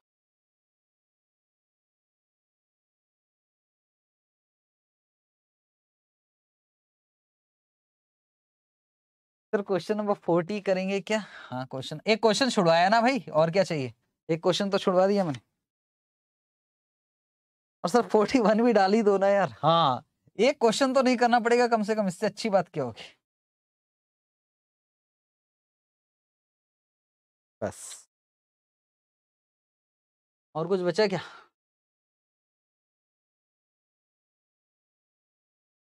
मुझे छोटा करना पड़ेगा अपना।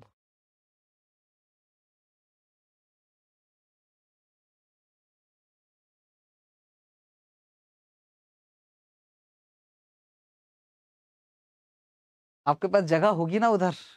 हाँ सर।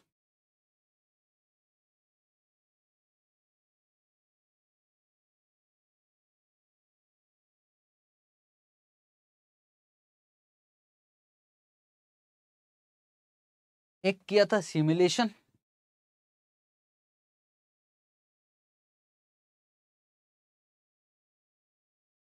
उसका सिर्फ़ एग्ज़ाम्पल कर लेना।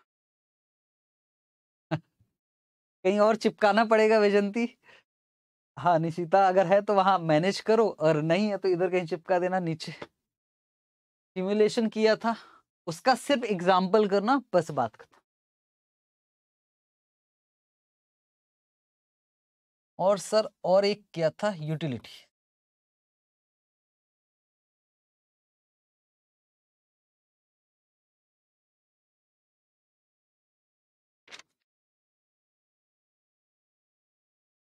एक ही तो क्वेश्चन किया था यूटिलिटीज का आज।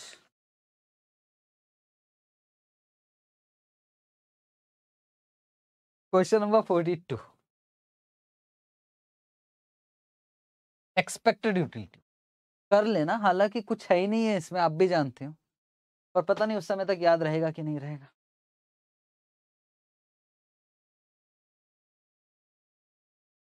प्रोजेक्ट आईआरआर और इक्विटी आईआरआर के क्वेश्चन को मैं रिवीजन में नहीं डाल रहा हूँ। क्योंकि वो सिर्फ़ समझाने के लिए, क्योंकि आगे मुझे ज़रूरत पड़ेगी। ऐसा नहीं है कि सर प्रोजेक्ट आईआरआर और इक्विटी आईआरआर और क्वेश्चन नंबर वन और टू आप यहाँ करवा क्यों नहीं रहे? उसकी वजह क्योंकि मैंने वो यहाँ के लिए नहीं करवाया है, क्योंकि मुझे आगे ज़रूरत पड़ेगी, इसलिए मैंने वो करवाया। बिज़नेस वैल्यूएशन करके एक टॉपिक है जिसमें ज़रूरत पड़ेगी। तो क्योंकि उन दोनों की यूज़ वहाँ होने वाला है। तो फिर हम यहाँ क्यों रिवीजन करें? तो यहाँ रिवीजन में नहीं डाल रहा है। एडजस्टेड प्रेजेंट वैल्यू यहाँ नहीं हो रहा है। वो होगा आपका बिज़नेस वैल्यूएशन तो उस हिसाब से बस इतना ही है हमारे कैपिटल लिस्टिंग में।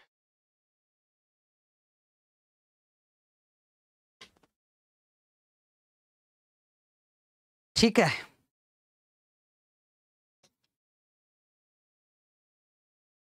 सिनारियो एनालिसिस का अनंत बात यह है कि जब हम ये कर रहे हैं ना हिलियर मॉडल और हर्ट्स मॉडल, उसमें सिनारियो सिनारियो के बेस पर एनपीवी निकालना। हाँ तेईस क्वेश्चन हमने निकाला है टोटल मिलाकर, ट्वेंटी थ्री क्वेश्चन सफिशियंट अब यार इतना तो करना ही पड़ेगा रिवीजन में। और एक ही बार रिवीजन में फिर तो ये सब कुछ याद हो जाएगा, बहुत ज़्यादा स्पेशल है नहीं।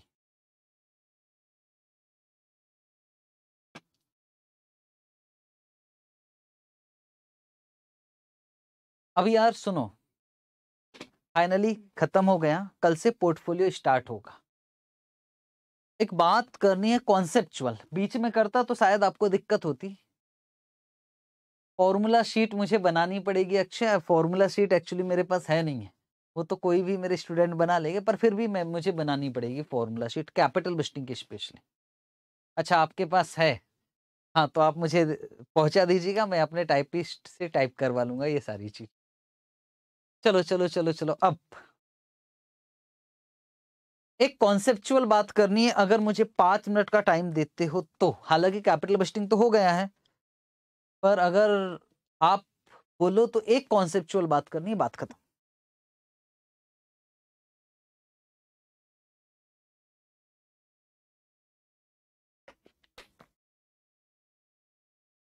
Thank you project A, project B.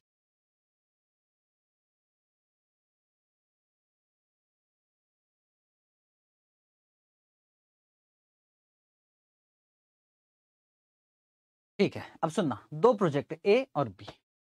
कुछ लिखने की ज़रूरत है ही नहीं है, बस आप ही से पूछ रहा हूँ। सर, इसमें पैसा लगा रहा है एक लाख और इसमें भी पैसा लगा रहा है एक लाख। या कुछ और ले लेते हैं? एक लाख बीस। इसमें कैश फ्लो आएगा first year, second year, third year. Sixty thousand, twenty thousand, forty thousand. और इसमें भी कैश फ्लो आएगा first year, second year, third year. Seventy five thousand, fifty five thousand और ट्वेंटी ये अलग है अलग है। सवाल ये है। नहीं लिखना है, ठीक है, लिखना नहीं है, बस सुनना है। सवाल ये है, क्या दोनों प्रोजेक्ट में अलग अलग रिस्क हो सकती है? हो सकती है। हाँ अगर अलग अलग रिस्क हो सकती है तो हमें अलग अलग रेट से डिस्काउंटिंग करना होता है। हाँ तो हमें किससे डिस्काउंटिंग करना होता है, उसका नाम क्या है? R A D R, risk adjusted discounting rate. D R. Risk adjusted discounting rate तो मुझे बस इतना बताइए कि किसको ज़्यादा रेट से डिस्काउंटिंग करूँ और किसको कम रेट से डिस्काउंटिंग करूँ? सुनना ध्यान से मैं क्या बोल रहा हूँ। कैसे पता लगाओगे कि किसको ज़्यादा रेट से डिस्काउंटिंग करना है और किसको कम रेट से डिस्काउंटिंग करना बता सकते हो कोई? यार, इसको ज़्यादा रेट से करना है कि इसको ज़्यादा रेट पता कैसे लगाएँगे?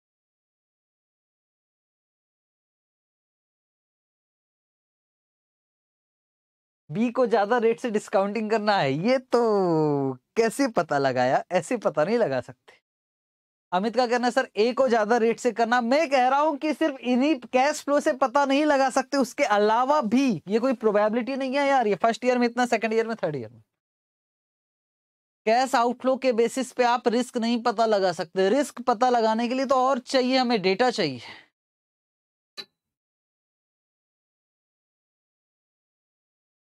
पीवीसीओ के बेसिस पे नहीं पता लगा सकते। हमको निकालना पड़ेगा coefficient of variation CV CV बिना ज़्यादा फ्लक्चुएशन के हिसाब से, पर ये फ्लक्चुएशन के लिए आपने कैश फ्लो के हिसाब से निकाला ना। मेरा कहना है, क्या आप सीवी निकाल सकते हो?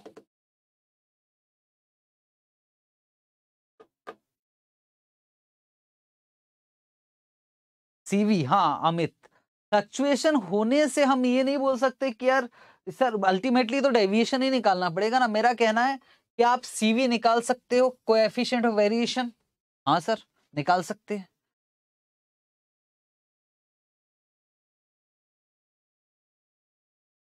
अब सीवी निकालना तो सीवी के लिए क्या निकालना पड़ेगा हमें? स्टैंडर्ड डेविएशन एग्री है?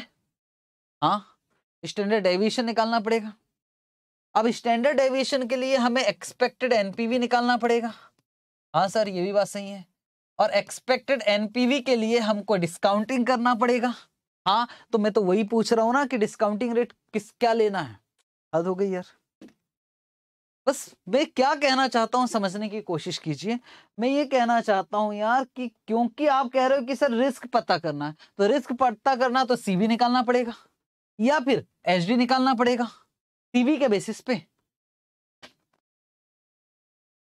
और सर, इन सब के लिए एक्सपेक्टेड एनपीवी निकालना पड़ेगा। बस मुद्दे की बात कर रहा हूँ, अब सुनना ध्यान से। अब एक इंपॉर्टेंट बात, एक इंपॉर्टेंट बात। जब जब भी किसी क्वेश्चन में आपको एच डी कैलकुलेट करना होता है, आखिरी बात कर रहा हूँ, ध्यान से सुना जब भी आपको स्टैंडर्ड एविएशन करना कैलकुलेट करना होता है आपको रिस्क पता करना होता है तो जो कैश फ्लो है, उसको कभी भी आप के से डिस्काउंटिंग नहीं करो, करते हो, आप उसको आरएफ से डिस्काउंटिंग करते हो। सर, ये नई बात क्यों बोल रहा है? इसलिए बोल रहा हूँ, कल को कोई दिक्कत हो इसलिए। इट मींस जब भी स्टैंडर्ड डेविएशन कैलकुलेट करना होता है स्टैंडर्ड डेविएशन तो जब भी अगर बोलेगा कि चलो रिस्क निकालो यार, स्टैंडर्ड है, जब भी बोलेगा रिस्क निकालो तो फिर आप इसको डिस्काउंटिंग के ही से आर से कैसे डिस्काउंटिंग कर सकते हो? अगर आप आर से डिस्काउंटिंग कर रहे हो तो यार तो आप डबल हो गया। आर से डिस्काउंटिंग भी कर रहे हो और एच भी निकाल रहे हो। जब भी जब भी एचडी निकालने के लिए बोला जाता है डिस्काउंटिंग रिस्क फ्री से किया जाता है लॉजिकली कॉन्सेप्चुअल सर कॉन्सेप्ट अपने पास रखो, आईसीएआई क्या कहता है? आईसीआई का जो मन है, वो कर देता है। और अधिकतर क्वेश्चन में वो भाई साहब को जो डिस्काउंटिंग रेट है, उसी से डिस्काउंटिंग कर देता, वो आरएफ का यूज़ नहीं करता। मैं इसलिए आखिरी बार आखिरी लास्ट में डिस्कस कर रहा हूँ। देखो, और कई क्वेश्चन में देखो, एक क्वेश्चन आया था, मेरे पास होगा।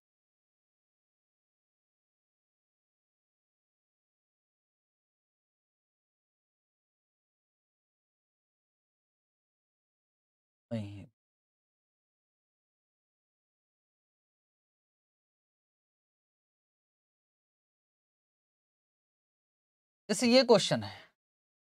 क्या मुझे इसमें एच डी निकालना था? हाँ। तो देखो डिस्काउंटिंग रेट प्यार से देखो क्या लिखा है। Six percent risk free rate क्यों? आपने पूछा नहीं। आपने पूछा नहीं, मैंने बताया भी नहीं, इसलिए नहीं बताया कहीं आप उस समय बनाते बनाते कहीं मुझसे लड़ाई ना करो क्योंकि अगले क्वेश्चन में भाई साहब वो सीधा डिस्काउंटिंग रेट लिख देता है। तो मैं तो परेशान हो गया ना यार। लेकिन एक्चुअल में ये क्वेश्चन में बिल्कुल सही लिखा था। ये क्वेश्चन में डिस्काउंटिंग लिख देता। सर, कहना क्या चाहते हो? बस इतना बता दो। कहना बस इतना चाहता हूँ, अगर आरएफ दे दिया है ना तो आरएफ से डिस्काउंटिंग कर देना। बहस मत करना कि आरएफ से एक्चुअल में आरएफ से ही डिस्काउंटिंग होता है। खैर सर, बस बहुत हो गया। अब हमको घुस के नहीं पढ़ना है। हो गया हमारा कैपिटल बस्टिंग ठीक है। तो कल मिलते हैं। क्लास ओवर कर रहे हैं हम लोग। प्लीज़ रिवीजन कर लेना, वन वीक का टाइम है आपके पास। बीच में रक्षाबंधन भी है तो प्लीज़ रिवीजन कर लीजिएगा। छुट्टी रहेगी, ऑफ़िस की तो कम से कम छुट्टी रहेगी। गुड नाइट, विनय, और कल हम नया चैप्टर स्टार्ट कर रहे हैं, पोर्टफोलियो मैनेजमेंट। ठीक है, thank you so much, bye bye.